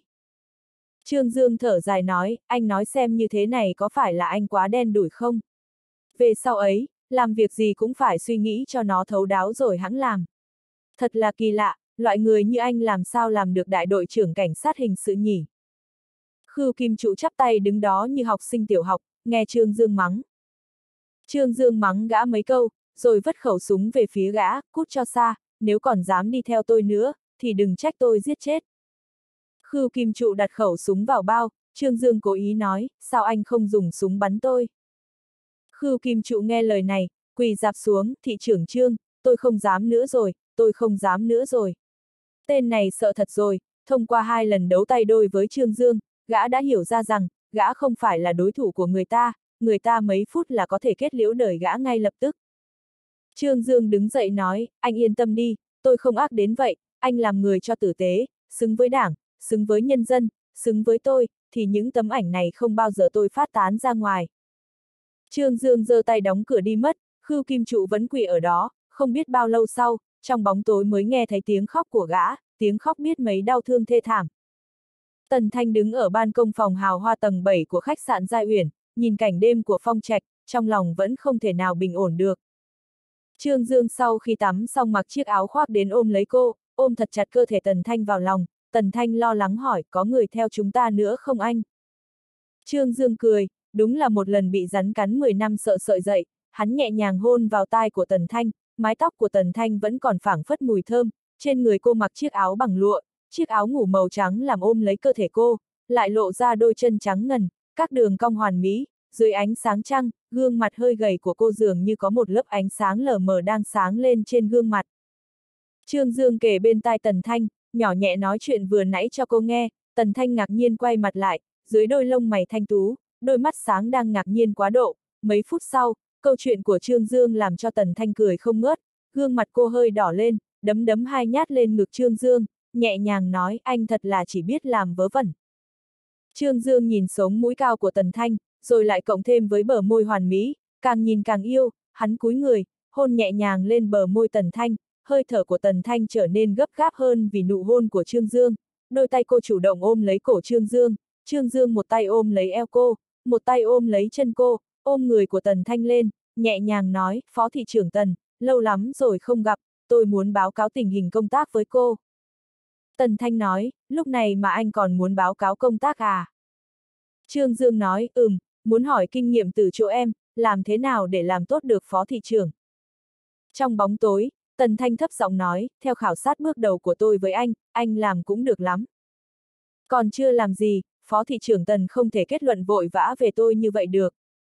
Tần Thanh cảm thấy chiếc váy ngủ của cô dần bị tên này cởi ra, Trương Dương nhẹ nhàng hôn lên mặt cô, cổ cô, trên vai, trên ngực. Nụ hôn của hắn ngày càng sâu, đôi tay của Tần Thanh nắm lấy tóc hắn, vẫn cảm thấy thân hình hắn đè lên người mình, rất chặt, rất chặt, một loại cảm giác hừng hực lửa chiếm lĩnh lấy cô, cơ thể Tần Thanh vô ý thức co lại. Trương Đại Quan nói, Thị Thanh à, tôi muốn làm phó thị trưởng biết bao năm rồi. Tần Thanh thấp giọng nói, anh làm xuất sắc lắm, không có ai xuất sắc hơn anh.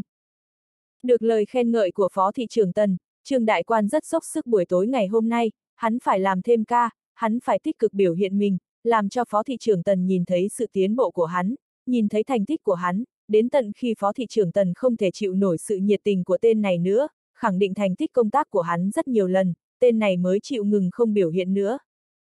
Mặc dù đã là sáng sớm, nhưng hai người vẫn chưa hề buồn ngủ, Tần Thanh nhẹ nhàng nằm trong vòng tay Trương Dương, giống như một con thuyền nhỏ cập bến vậy, tay cô nhẹ nhàng đặt vào giữa hai chân hắn, thông qua cách này để an ủi sự cần mẫn vừa rồi của hắn. Rất nhanh cô đã phát hiện ra sự cổ vũ của mình làm cho Trương Dương lại nổi dậy lần nữa. Cô vội vàng rút tay về, nhưng lại nói, không được nữa rồi, với năng lực của anh, phó thị trưởng cũng không đủ để anh làm rồi. Trương Dương cười ha ha, hôn lên chán Tần Thanh đầy yêu dấu, thấp giọng nói, cái chức phó thị trưởng này của anh, nghe thì to đấy thôi, nhưng thực chất vẫn chỉ là một cán bộ cấp phó sở, ở phong trạch này, những người xếp trên anh quá nhiều. Tần Thanh nói, công tác gặp phải vấn đề khó khăn ư. Trương Dương lắc đầu, không có gì, vừa mới đến phong trạch, tất cả mới chỉ là bắt đầu, anh còn chưa tìm hiểu được hết tình hình cụ thể của phong trạch kia. Tần Thanh thấp giọng nói, làm phó thị trưởng không giống với những việc anh làm trước kia, phải bắt tay vào đại cục, nắm cái lớn bỏ qua cái bé. Trương Dương cười nắm lấy ngực cô, nắm cái lớn bỏ cái bé. Tần Thanh hơi đỏ mặt, nhẹ nhàng nói, cần phải nhìn vào đại cục, không thể chỉ đi theo cục bộ. Trương đại quan áp cả người vào, anh từ trước đến giờ đền nhìn đại cục cả đấy chứ. Tần Thanh cười đẩy hắn ra, anh có thể nói chuyện tử tế được không hả? Trương Dương làm ra bộ tử tế, nhưng trông vẫn rất giả dối, hắn thấp giọng nói, trước kia em đã từng áp em bí thư đoàn thị ủy, em thấy Tôn Đông Cường là người thế nào? Tần Thanh nói, người này quá mong muốn leo lên trên, có điều vẫn rất cần cù làm việc. Trương Dương nói, anh và anh ta không hợp nhau.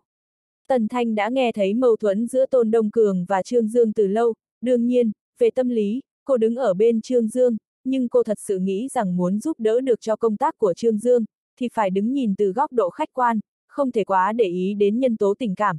Tần Thanh nói, dù là trước kia hai người có gì không vui, giờ đây đã đến phong trác, thì phải lật đổ tất cả những gì trong quá khứ, lấy một tâm trạng tốt ra thì mới có thể làm tốt công việc được.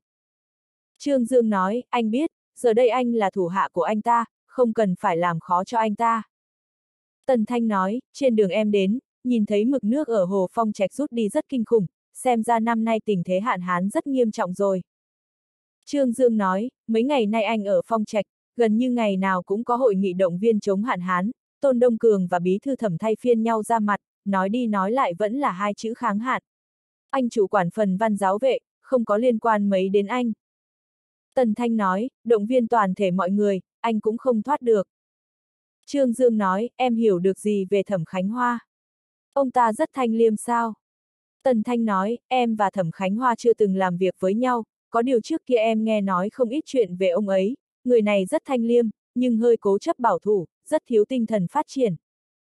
Trương Dương nói, anh cảm thấy ông ta theo chủ nghĩa hình thức, có một vài quy định quá cứng nhắc đến độ nực cười, giờ là thời đại nào nữa, mà ông ta làm trò đó, ngoài mặt thì có vẻ rất thanh liêm, nhưng thực tế đã ảnh hưởng lớn đến hiệu suất làm việc của chính phủ thành phố. Tần Thanh nhắc nhở Trương Dương, nếu như anh muốn làm tốt việc của anh ở phong trạch, thì cần phải có quan hệ tốt với lãnh đạo cấp trên, nếu không thì, công việc của anh sẽ gặp phải rất nhiều trở ngại đấy. Trương Dương ôm lấy vai Tần Thanh nói, không nói mấy thứ này nữa, đúng rồi, tháng sau Kiều Trấn Lương sẽ đến Bình Hải làm thư ký rồi, Lam Sơn bên em liệu có thay đổi gì không? Tần Thanh nói, trước mắt vẫn chưa có thay đổi gì cả, Lam Sơn là thành phố tiêu biểu của cải cách mở cửa ở Bình Hải, dù là lãnh đạo có thay đổi như thế nào, thì chúng em vẫn cố gắng giữ vững sự bình ổn của chính trị Lam Sơn, không thể sự thay đổi của cấp cao ảnh hưởng đến sự phát triển của chúng em. Trương Dương nói, tầng lãnh đạo của Lam Sơn trải qua nhiều năm rèn rũa nên đã ổn định lắm rồi, Giang Thành thì không được may mắn như vậy, Đỗ Thiên Giã gần đây rất khó sống, Triệu Dương Lâm mang theo một đám lão giả đến gây khó khăn cho anh ta, ngay cả thái độ của tả viên triều cũng thay đổi rồi. Tần Thanh nhẹ nhàng đáp, càng là những lúc như thế này, anh càng phải giữ bình tĩnh, và khiêm nhường nữa, xem ra Đỗ Thiên Giã để anh đến đây thật sự là một sự sắp xếp rất tốt. Trương Dương nói, anh chẳng sao, anh thì lo về Đỗ Thiên Giã hơn. Tần Thanh cười nói, chỉ khổ tổ mình thôi, anh ta có thể ngồi đến vị trí như ngày hôm nay cũng không phải là một sự ngẫu nhiên, nếu như một chút sóng gió như thế này cũng không vượt qua được, thì điều đó chứng minh anh ta không xứng đáng với cái chức bí thư thị ủy. Câu này Trương Dương không phải lần đầu tiên nghe thấy. Tần Thanh áp tay vào má Trương Dương, anh ấy à, anh cứ làm cho tốt công việc trước mắt anh đi, cấp cao họ có biến động thế nào cũng chẳng liên quan gì đến anh, không ở cấp đó thì không cần phải lo, anh hiểu không? Trương Dương gật đầu, chị Thanh dạy trí phải, tôi cần phải làm cho tốt việc trước mắt, phải làm cho tốt chức phó thị trường. Tần Thanh nói, thôi đi. Tôi phải nỗ lực làm, tận lực làm, làm cho tốt. Vì đi tiễn Tần Thanh, ngày hôm sau khi Trương Dương đến chính phủ thành phố đã là hơn 10 giờ, đến phòng làm việc, nhìn thấy bên trong rất sạch sẽ, thư ký Phó Trường Trinh làm việc rất hết tâm hết sức. Thấy Trương Dương về, Phó Trường Trinh vội vàng đứng dậy đi pha trà cho gã, Trương Dương cười hì hì nói, tiểu phó, không cần phải vậy đâu. Nghỉ ngơi một chút. Phó Trường Trinh nói, tôi không mệt. Trương Dương cầm tập báo trên bàn nhìn lướt qua, tin tức đầu là bài diễn thuyết của Bí thư thị ủy Thẩm Khánh Hoa trong cuộc họp mở rộng thường ủy, chẳng có nội dung thực tế gì, Trương Dương vất tờ báo lại lên mặt bàn, có việc gì không? Phó Trường Trinh nói, không có gì, đúng rồi, chủ nhiệm Trương đã qua đây tìm anh. Cục trưởng Cục Vệ sinh Phùng cũng gọi điện thoại đến. Trương Dương gật đầu, lúc này chuông điện thoại vang lên, Trương Dương cầm lấy điện thoại, nói Tào Tháo Tào Tháo đến, cuộc điện thoại này là của Phùng Xuân Sinh, Phùng Xuân Sinh vẫn nhắc lại chuyện cũ, y muốn mời Trương Dương ăn cơm, Trương Dương hôm qua từ chối vì Tần Thanh đến, nhưng Phùng Xuân Sinh đã thành tâm như vậy, Trương Đại Quan cũng chẳng có gì để làm, thế là đã nhận lời. Điện thoại vừa đặt xuống, thì lại có điện thoại từ bên Lương Diễm gọi đến, Lương Diễm tìm Trương Dương để ký tên, cô ta muốn lấy 8 chữ của Trương Dương VA làm mở đầu đoạn băng tuyên truyền chống hạn hán, nhưng không có chữ ký, vì thế bảo Trương Dương viết chữ mình lên, những việc xuất đầu lộ diện này Trương Dương rất thích, nhưng mới đến phong trạch, lại gặp phải vị bí thư cố chấp này, Trương Dương nghĩ một lúc vẫn không ký thì hơn, hắn nói với Lương Diễm, chị Lương à, chúng ta là đảng viên, làm một việc tốt không lưu danh. Cứ xem như tôi cống hiến cho dân chúng vậy, tên thì thôi không cần phải viết đâu. Thị trưởng Trương thật là cao phong độ, đúng rồi, một nghìn tệ tiền công của anh, tôi đã làm theo ý của anh lấy danh nghĩa của anh quyên góp cho bộ chỉ huy chống hạn hán rồi. Trương Dương ừm một tiếng, Lương Diễm tự cho rằng làm rất được, thực ra Trương Đại Quan rất khó chịu, tám chữ của mình dù là bán theo giá thị trường cũng không đáng với con số ấy, thật là bán được giá quá, Lương Diễm cũng là người phụ nữ chẳng biết gì.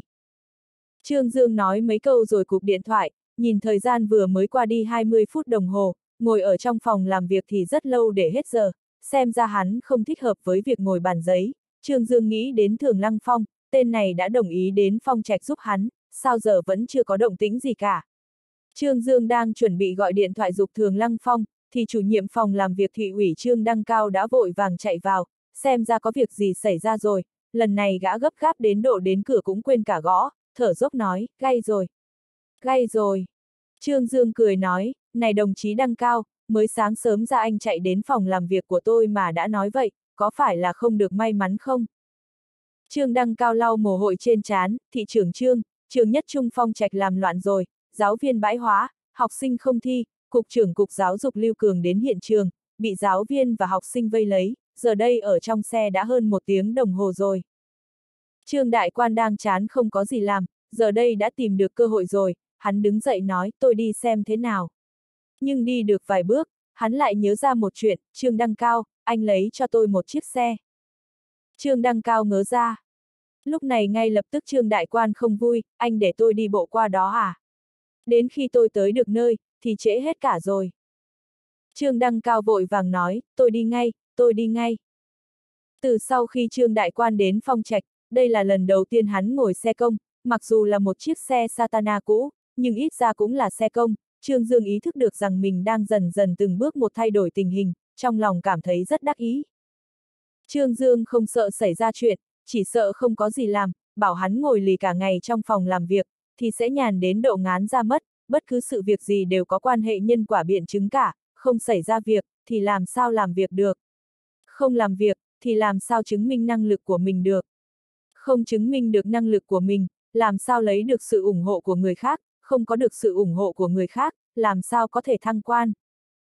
Trương Đại Quan ngồi đằng sau, trong đầu đang diễn ra phép biện chứng, môi hắn ở một nụ cười nhàn nhạt, thư ký phó trường Trinh ngồi ở một bên quan sát vị phó thị trưởng này, trong lòng đầy hiếu kỳ, người khác đều sợ việc, chỉ muốn những gì mình quản lý không xảy ra chuyện gì, nhưng vi này, xem chừng hắn rất vui, thật là kỳ lạ.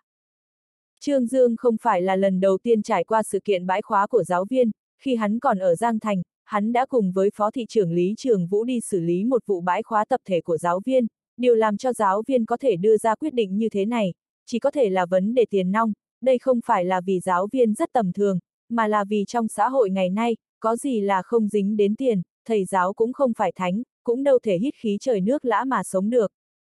Từ chính phủ thành phố đến trường nhất trung phong trạch chỉ có hai cây em, họ đã đến rất nhanh, cổng trường dày đặc những học sinh, đám học sinh này bỏ thi là do giáo viên bãi khóa mà thành, đám thanh niên này rất bồng bột, gặp phải sự việc không thể khống chế được bản thân, họ tập trung để thi trước cổng trường, rồi đốt, rất nhanh trước cổng trường đã dày đặc khói, thu hút không ít người dân ở xung quanh. Khi Trương Dương đến nhất trung phong trạch, đại đội trưởng cảnh sát hình sự thành phố Khưu Kim Trụ cũng đã mang hơn 20 viên cảnh sát đến, một trong số đó có em họ gã là Khưu Kim Tùng. Hai anh em nhìn thấy Trương Dương bước từ trên xe xuống, thái độ của hai người khác nhau, Khưu Kim Trụ chỉ muốn tìm một cái lỗ nẻ nào đó để chui xuống, còn Khưu Kim Tùng thì vừa hận vừa sợ, hai mắt của gã dính chặt lấy Trương Dương, chỉ muốn ăn sống nuốt tươi hắn, biết rằng có người nói phó thị trưởng đến rồi, tên này mới móc nối Trương Dương và cái chức phó thị trưởng với nhau, trời ơi! Thế này là thế nào, tên thâm độc kia mà lại là phó thị trưởng, Khưu Kim Tùng biết được thân phận thật sự của Trương Dương, tất cả bụng tức đều đổ dồn lên người anh họ, mẹ kiếp, Khưu Kim Trụ à Khưu Kim Trụ, ngay cả em họ anh mà anh cũng hại, thật là chẳng ra thể loại gì. Trương Dương nhìn thấy Khưu Kim Trụ, cười, rồi vẫy tay với gã, Khưu Kim Trụ lật đật chạy qua đó, gã không thể không nghe lời được, vì đã bị người ta nắm đằng chuôi. Khưu Kim Trụ đến trước mặt Trương Dương cung kính nói, thị trưởng Trương, anh đến rồi. Trương Dương gật đầu, thân mật nói, Kim Trụ à, có vấn đề gì thế? Một câu nói làm cho Khưu Kim Trụ suýt nữa bật khóc, Trương Dương đã bao giờ khách khí như vậy với gã.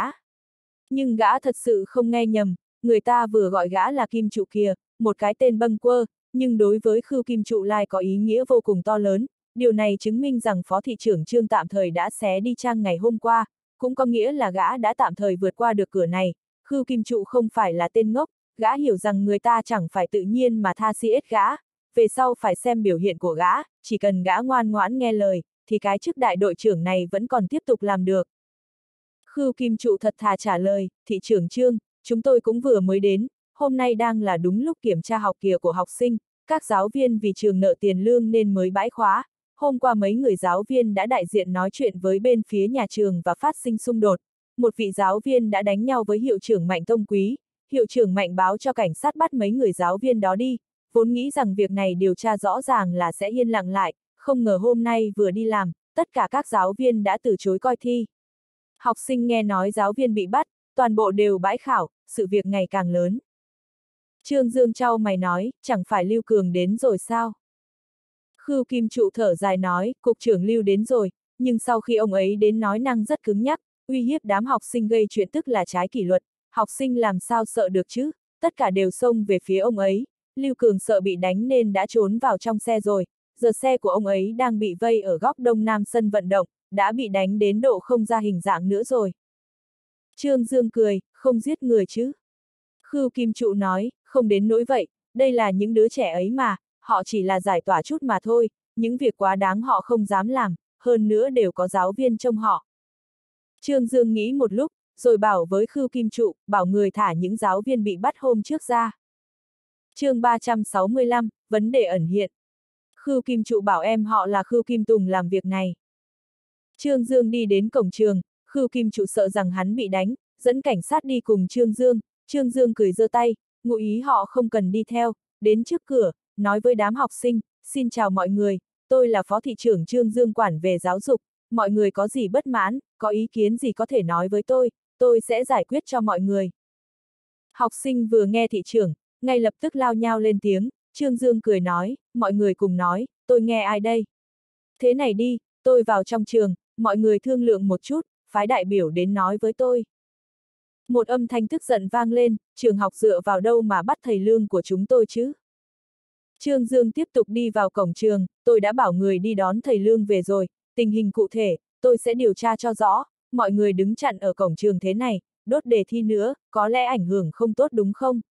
Trước mắt hành vi mọi người vẫn chưa trái pháp luật, nhưng nhớ đầu động vào luật rồi, pháp luật nhất định sẽ trừng phạt mọi người đó, có rất nhiều cách để giải quyết vấn đề, các bạn đừng dùng những cách không thông minh này, bên đài truyền hình và bên báo chí sắp sửa đến đây ngay đấy, nếu như hành vi hiện nay của các bạn bị chụp ảnh lại, phát trên TV, thì bố mẹ các bạn sẽ nghĩ như thế nào? Không ít học sinh lộ ra vẻ sợ sệt, thời học sinh sợ nhất là nhắc đến phụ huynh, đừng thấy họ rầm rầm khí thế như vậy, nhưng vừa nhắc đến hai chữ phụ huynh là đã bắt đầu yên lắng. Hơn nữa, vị này là phó thị trưởng, trong mắt họ, phó thị trưởng đã là sự tồn tại cấp độ thần thánh, mỗi người đều có uy quyền của quan cả, nhưng uy quyền của quan cũng phân lớn nhỏ, uy quyền của Lưu Cường không thể trấn áp nổi chuyện này, nhưng Trương Dương có thể, đây chính là khí chất. Trương Dương đi vào trong sân trường, Khưu Kim Trụ nhìn vị phó thị trưởng này, trong lòng thầm bái phục, chỉ với dũng khí và khí chất như anh ta đã rất ít người có rồi, mình chết trong tay anh ta quả thật chẳng oan ức gì, trong lòng Khưu Kim Trụ đột nhiên cảm thấy thoải mái nhiều, đây chính là biện pháp thắng lợi tinh thần.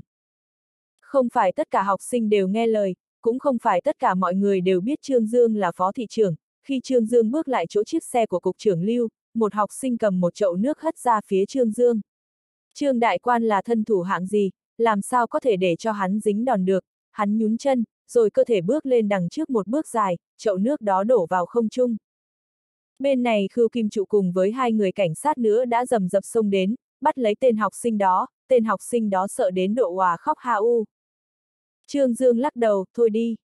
Khưu Kim Trụ lúc này mới bỏ tên học sinh ra, sau vụ đó, tất cả các học sinh đều cảm thấy sợ, rất nhiều người đã bắt đầu chuồn về rồi, khi Trương Dương bước đến chiếc xe của Lưu Cường, đám học sinh tách thành một con đường. Cục trưởng Cục Giáo dục Lưu Cường và lái xe đều trốn cả trong xe, sợ đến độ mặt trắng bệch, bị vây lâu như vậy, nhưng không có học sinh nào đập xe, nhưng bọn họ dùng sơn vẽ linh tinh lên xe, bên trên còn viết, con rùa rụt cổ, tham quan vô lại, thậm chí còn có người viết luôn, loại khốn nạn chết dẫm, nữa. Trương Dương nhìn thấy cảnh trước mắt vừa tức vừa buồn cười, đường đường là một cục trưởng cục giáo dục mà lại bị dọa đến độ này, thật là mất cả mặt cán bộ.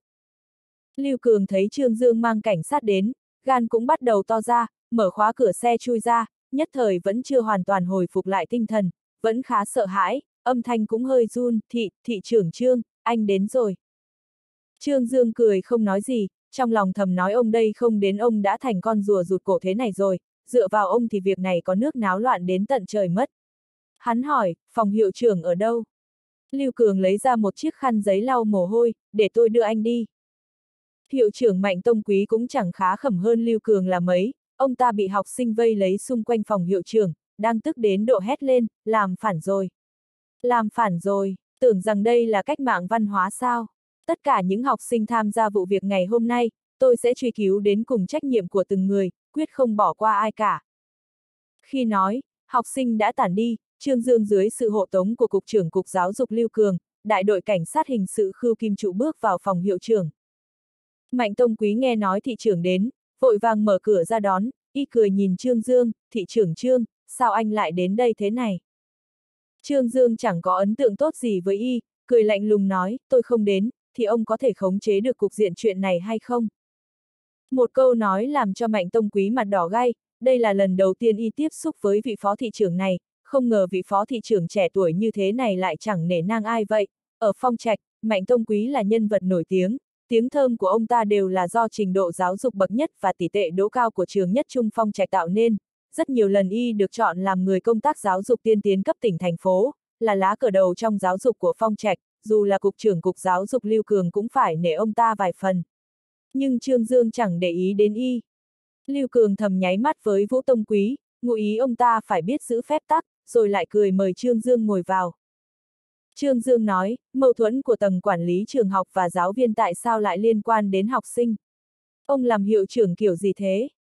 Mạnh Tông Quý rất cứng đầu, tôi đã nhắc nhở rồi, những nhân viên giáo viên có gì bất mãn có thể trực tiếp nói với tôi, tôi đã giải quyết không được đi tìm cục giáo dục, nhưng họ không tin, lợi dụng sự bồng bột và lương thiện của học sinh, gây nên lần hỗn loạn này, tôi đã điều tra ra người đứng đằng sau thao túng, nhất định sẽ truy cứu trách nhiệm của anh ta.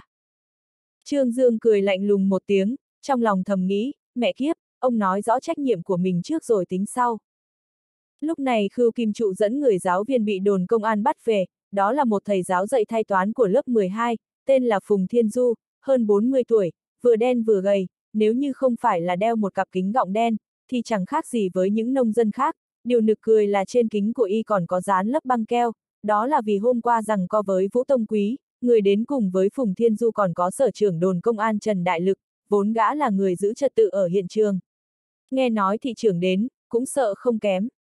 Trương Dương nhìn đồng hồ, tôi không có nhiều thời gian, thời gian của mấy bạn học sinh đó còn quý giá hơn, các anh là những người phụ trách công tác giáo dục, mà lại làm lỡ việc thi cử của học trò, sự việc hôm nay sẽ để lại ấn tượng như thế nào trong lòng họ. Có lẽ sẽ ảnh hưởng đến cả nhận thức về xã hội mai sau của họ, ảnh hưởng nghiêm trọng đến nhân sinh quan, tạo thành ảnh hưởng đeo đẳng suốt cuộc đời họ. Giờ đây ai có thể giải thích với tôi rằng đã xảy ra chuyện gì, nguyên nhân gì dẫn đến việc ngày hôm nay? Phùng Thiên Du mặt đầy hối lỗi, y cắn cắn môi nói, xin lỗi, tôi không ngờ sự việc lại đến mức như thế này. Mạnh Tông Quý tức giận, một câu không ngờ của anh là xong ư. Việc thi giữa kỳ ngày hôm nay bị anh làm hỏng hoàn toàn rồi, học sinh bãi khóa không thi, đốt cả đề thi, tất cả điều này đều là vì anh. Trương Dương khó chịu với dáng điệu hống hách của tên này, ngắt lời y, hiệu trưởng mạnh, ông xúc động như vậy để làm gì? Sự việc đã rồi, tôi đến đây là để làm rõ tình hình, thầy giáo Phùng, anh nói xem, rốt cuộc là vì gì? Phùng Thiên Du nói, thị trưởng Trương, mấy người giáo viên chúng tôi ba tháng nay đều không có tiền lương, chúng tôi cũng chỉ là một người bình thường, chúng tôi cũng phải nuôi gia đình mình, chúng tôi không thể vừa nhịn đói để lên lớp giáo dục người khác, vừa nghĩ về việc nhà chẳng còn tấm thóc nấu cơm. Mạnh Tông Quý nói, tiền lương tạm thời không phát xuống đâu có phải chỉ một mình trường chúng ta như vậy, tôi chẳng phải đang cố gắng giải quyết vấn đề này hay sao? Biết rằng gia đình anh khó khăn, tháng trước tôi còn cho anh tiền hỗ trợ, nhưng anh làm như thế nào, anh xé áo tôi trước mặt mọi người, còn dọa tôi. Trương Dương trao mày, hiệu trưởng mạnh, ông có thể cho người khác cơ hội nói chuyện không, tí nữa đến lúc ông nói, chắc chắn sẽ để ông nói. Mạnh Tông Quý bị Trương Dương nói đến độ đỏ mặt, không dám lên tiếng nữa. Phùng Thiên Du nói, tôi biết rằng ông đã phê chuẩn cho tôi tiền hỗ trợ, 100 tệ tiền hỗ trợ, ông bảo tôi phải cảm ơn ông thế nào. Ba tháng tiền công của tôi còn chưa biết đi đâu về đâu, 100 tệ này có thể giải quyết được vấn đề của gia đình tôi sao? Vợ tôi ốm đã lâu, hai đứa con của tôi đều đang đi học, mẹ tôi hai mắt mù lòa, cả nhà chúng tôi nhồi nhét trong một căn hộ 26 mét vuông.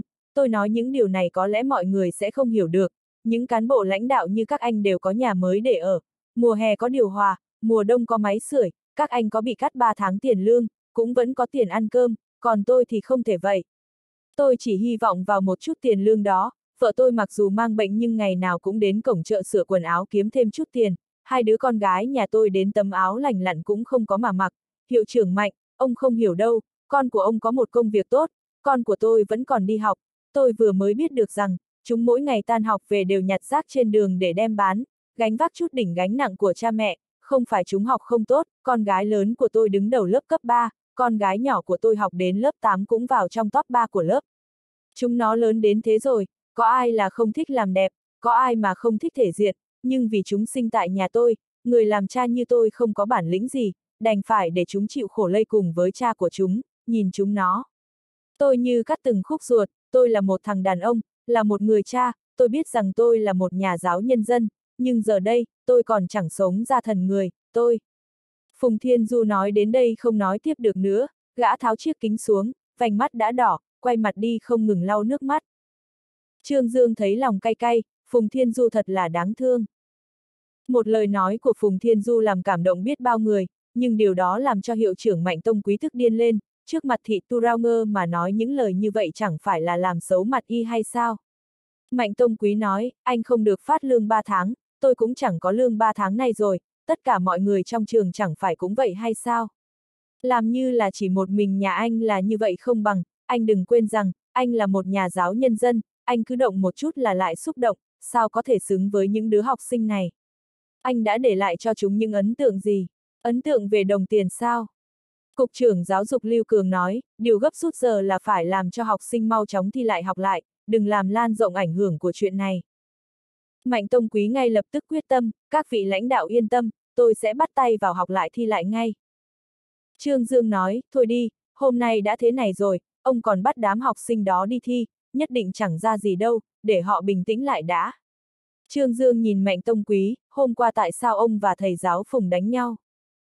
Mặt Mạnh Tông Quý hơi đỏ, không đánh nhau, chỉ là hơi xích mích thôi. Trương Dương cười nói, đúng là người làm thầy, xích mích, ừm, dùng từ xác đáng lắm, rốt cuộc phải trách ai vậy? Mạnh Tông Quý nói, chúng tôi đều có trách nhiệm. Câu này làm Trương Dương nắm được điểm yếu, hai người đều có trách nhiệm, vậy sao lại bắt thầy Phùng vào đồn công an? Mà ông lại không sao là thế nào? Mạnh Tông Quý mặt tím tái, câu bâng quơ của ông ta không ngờ lại bị Trương Dương bắt được lỗi. Đồn trưởng đồn cảnh sát Trần Đại Lực nói, là thế này. Trương Dương mặt sầm lại, tôi hỏi anh sao? Trần Đại Lực chết cứng ở đó, nói cũng không được mà không nói cũng chẳng xong, thật là khó xử. Khưu Kim Trụ nhìn họ, trong lòng ngày càng thoải mái, đây là điểm xấu xa của con người, bản thân mình đã không may, chỉ mong người khác gặp phải điều không may giống mình. Mạnh Tông Quý nói, tôi, tôi, lúc đó là thế này, khi tôi đang họp, thầy giáo Phùng đứng dậy nhắc về việc tiền lương, rồi còn cầm đầu làm loạn lên, tôi và anh ta có tí xích mính về ngôn ngữ, rồi anh ta xông đến bản chủ tịch đánh tôi, vì vậy tôi báo cảnh sát. Nói xong y nhìn sang Phùng Thiên Du, thầy giáo Phùng, có phải là như thế không? Phùng Thiên Du đáp đúng, đúng là tôi đánh ông trước, nhưng tôi chỉ đề ra việc đòi tiền lương, ông cũng không thể bảo tôi cút ra ngoài, ông là lãnh đạo, điều đó không sai, nhưng cũng không thể nào làm tổn hại lòng tự trọng của người khác.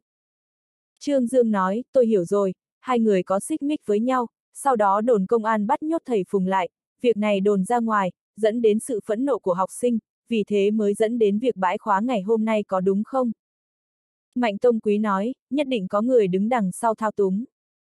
Phùng Thiên Vu lớn tiếng nói, tôi chẳng làm gì cả, tôi cũng chẳng hy vọng ảnh hưởng đến việc kiểm tra của học sinh. Trương Dương nói với Trần Đại Lực, anh dựa vào đâu mà bắt người.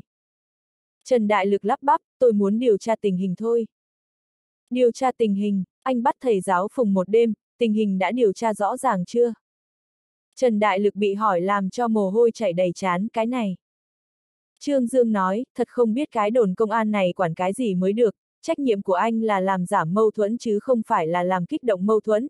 Việc hôm nay của Nhất Trung Phong Trạch, anh có trách nhiệm rất lớn trong đó, đội trưởng Khưu, sự việc nội bộ công an của các anh tôi không nhúng tay vào nữa, anh về phản ánh tình hình lại với Cục trưởng Triệu. Trần Đại Lực sợ đến độ mặt xanh như đít nhái, vị phó thị trưởng mới đến này rõ ràng là đang khai đao với hắn. Khưu Kim Trụ gật đầu, mặt nghiêm nghị, thị trưởng Trương yên tâm, chúng tôi sẽ điều tra tử tế chuyện này, nếu như điều tra ra có vấn đề, chúng tôi nhất định sẽ xử lý nghiêm khắc, quyết không tha. Sự phối hợp của Khưu Kim Trụ làm cho Trương Dương rất thoải mái, người cứ phải đánh mới ngoan được, nếu không cho gã ta biết mấy bài học, thì gã sẽ không nghe lời như vậy. Trương Dương quay sang hỏi Mạnh Tông Quý, hiệu trưởng Mạnh, tôi không quan tâm giữa ông và thầy Phùng đã xảy ra chuyện gì, tại sao lại không phát lương? Tại sao lại phải nợ lương của nhân công chứ? Mạnh Tông Quý khổ sở đáp, thị trưởng Trương, Trương không còn tiền nữa, thành phố lại không cho, tôi có cách gì chứ? Y vẫn còn nể mặt Lưu Cường, không đổ trách nhiệm lên đầu cục giáo dục. Trương Dương trao mày, cục trưởng Lưu, thế này là thế nào? Lưu Cường nói, tài chính của thành phố khó khăn, gần đây những nguồn tài chính chủ yếu đều đã dùng vào sản xuất nông nghiệp, vì thế nguồn kinh tế cho giáo dục hơi thiếu thốn. Trương Dương nói, năm ngoái sự việc xảy ra ở Cục Giáo dục Giang Thành mọi người vẫn chưa nghe nói đúng không? Mấy người đều trầm lặng, Cục trưởng Cục Giáo dục Giang Thành chính tiên tần tập hợp tiền phi pháp, dùng tiền công, tạo thành ảnh hưởng rất xấu trong cả giới giáo dục Giang Thành. Kết cục cuối cùng của Trịnh Tiên Tần tất cả mọi người đều biết, Trương Dương nhắc đến việc này là để cảnh cáo họ. Lưu Cường ngay lập tức nói, thị trưởng Trương, tôi sẽ hợp tác với trường học giải quyết chuyện này ngay, cố gắng trả số tiền nợ cho giáo viên một cách sớm nhất.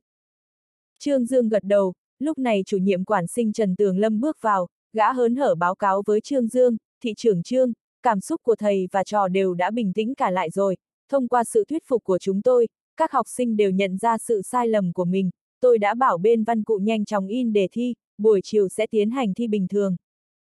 Trương Dương nói, không ảnh hưởng đến thành tích của học sinh chứ. Chủ nhiệm quản sinh Trần Tường Lâm nói, có lẽ là không, sau khi chúng tôi suy nghĩ, thì đã đổi lại lịch thi một chút, buổi chiều nay thi môn phụ.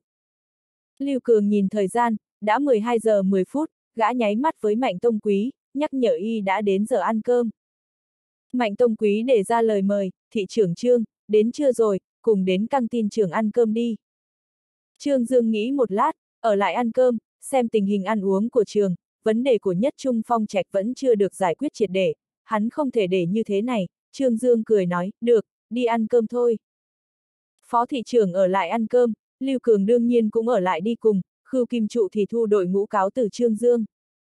Đồng hành cùng Trương Dương có Cục trưởng Cục Giáo dục Lưu Cường, Hiệu trưởng Nhất Trung Phong Trạch Mạnh Tông Quý đến căn tin trường ăn cơm, theo ý của đám người Lưu Cường, Mạnh Tông Quý, muốn mời Trương Dương đến phòng của công chức để ăn cơm, nhưng Trương Dương hôm nay là một người rất dễ gần, hắn từ chú ý tốt của họ, mỉm cười nói, đã đến đây rồi, thì chúng ta đến căn tin học sinh để ăn cơm đi, xem xem thức ăn của căn tin học sinh thế nào. Thức ăn của căn tin học sinh toàn là những món hỗn tạp, Trương Dương xem một chút, có 6 loại thức ăn, cũng tạm tạm, có điều chất lượng của thức ăn thì không dám nói. Hắn gọi một suất thịt nướng củ cải một suất đậu phụ nấu đỗ xanh, thịt nướng củ cải hơi cháy, bên trong toàn là thịt mỡ, đây còn là vì hắn là khách, những thức ăn của học sinh gọi chẳng được bằng một nửa của hắn, muốn móc được một miếng thịt mỡ trong đó rất khó khăn. Gạo còn chưa nấu chín hẳn, không phải là loại gạo gì ngon, ăn mấy miếng là đã ăn phải sạn.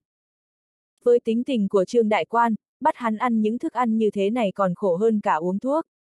Cục trưởng giáo dục Lưu Cường, hiệu trưởng Mạnh Tông Quý đều ăn cùng hắn, nhìn thấy thái độ của Trương Dương, đã biết rằng hôm nay nhất định sẽ không có kết quả gì tốt. Mượn cớ vào nhà vệ sinh, Lưu Cường nói với Mạnh Tông Quý, anh làm ăn thế nào vậy?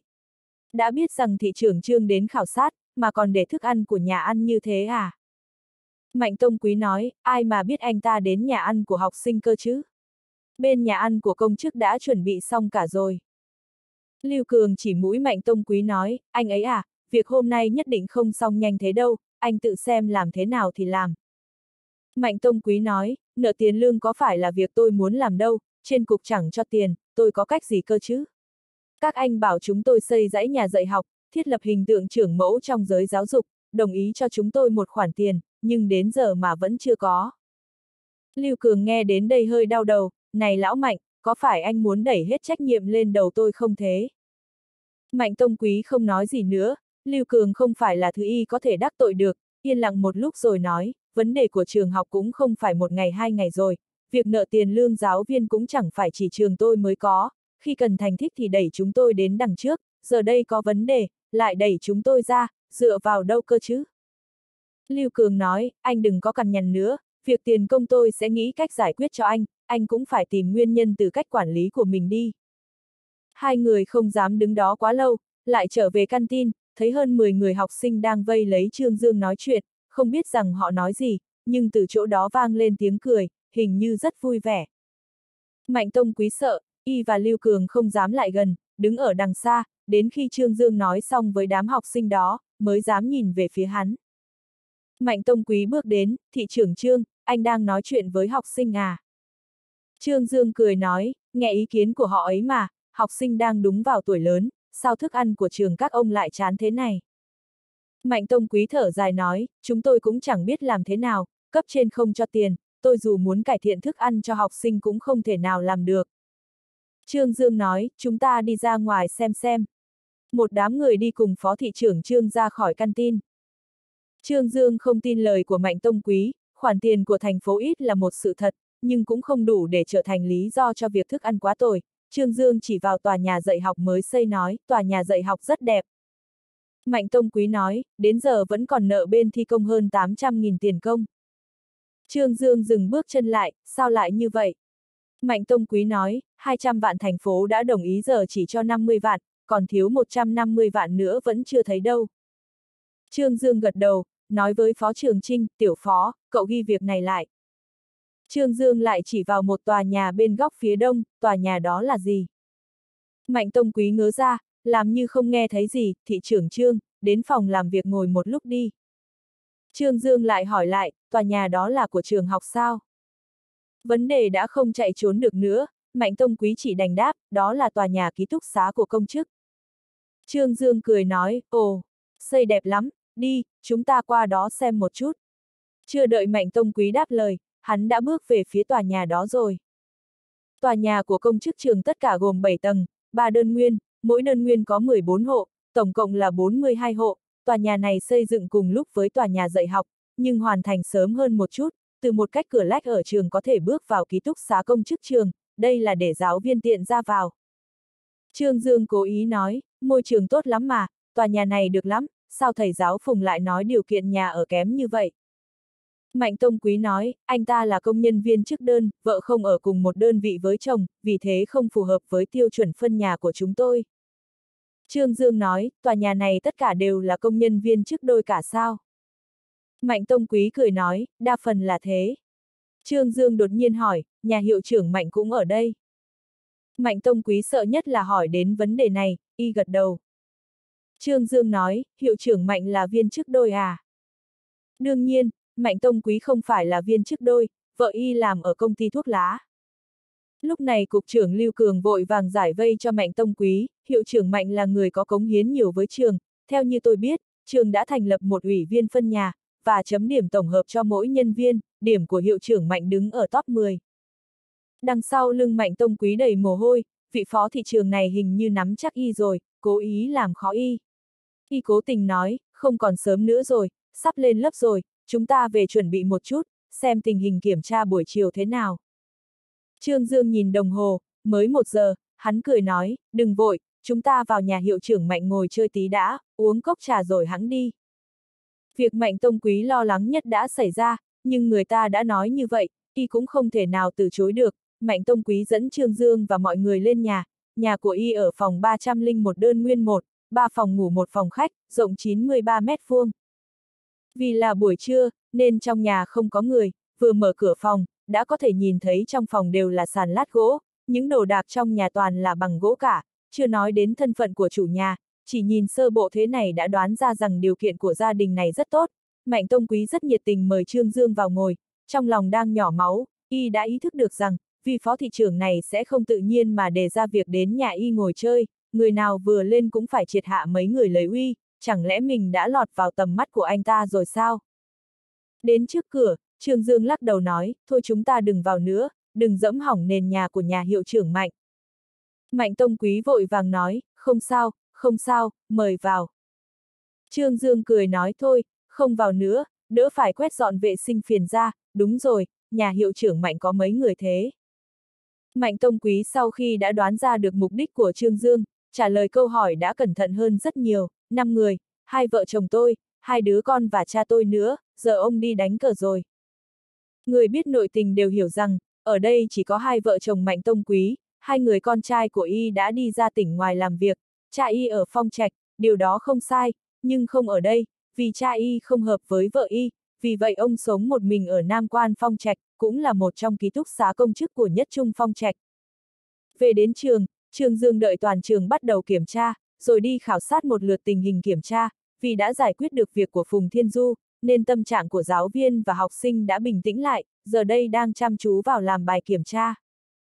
Trương Dương nhìn đồng hồ rồi rời khỏi trường, hắn cũng chẳng thể hiện gì nhiều, nhưng Mạnh Tông Quý hiểu rằng, việc này không chỉ có thể ở đến đây, nhìn chiếc xe của Trương Dương rời đi, y nói với Cục trưởng Lưu Cường, Cục trưởng Lưu, thị trưởng Trương có phải tức rồi không? Lưu Cường nói, anh đừng hỏi tôi, tôi cũng không biết, anh về mà kiểm điểm đi, việc lần này nhất định phải kiểm điểm hệ thống giáo dục.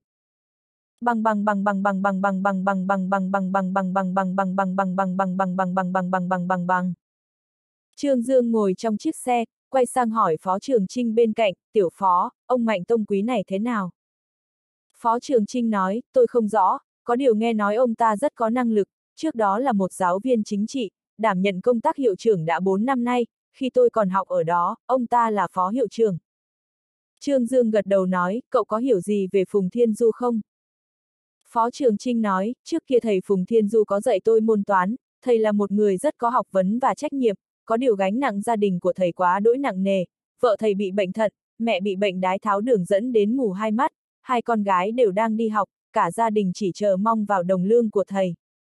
Trương Dương Châu mày nói, biết nhà anh ta ở đâu không? Tôi muốn đi thăm một chút. Phó Trường Trinh trước kia từng đến nhà Phùng Thiên Du, anh ta gật đầu nói, ở Nam Quan. Bên ký túc xá này của Phong Trạch là một toàn nhà nhỏ ba tầng vẫn còn tường gạch đỏ, cùng với hơn 10 hàng nhà cấp 4, nhà Phùng Thiên Du ở số 12 hàng số 6, Trương Dương mua một ít hoa quả ở ngoài, rồi mới đến trước cửa nhà Phùng Thiên Du. Trước nhà Phùng Thiên Du có một mảnh vườn nhơ nhỏ hơn 10 mét vuông, ở phía tây là nhà bếp, vì cửa không khóa, nên Trương Dương bước vào, phó trưởng trinh sách hoa quả đi đằng sau. Một bà cụ tóc bạc phơ chống gậy ngồi ở trong vườn đón nắng mặt trời, nghe thấy tiếng bước chân, thấp giọng hỏi, ai thế? Audio điện tử võ tấn bền. Hết chương 365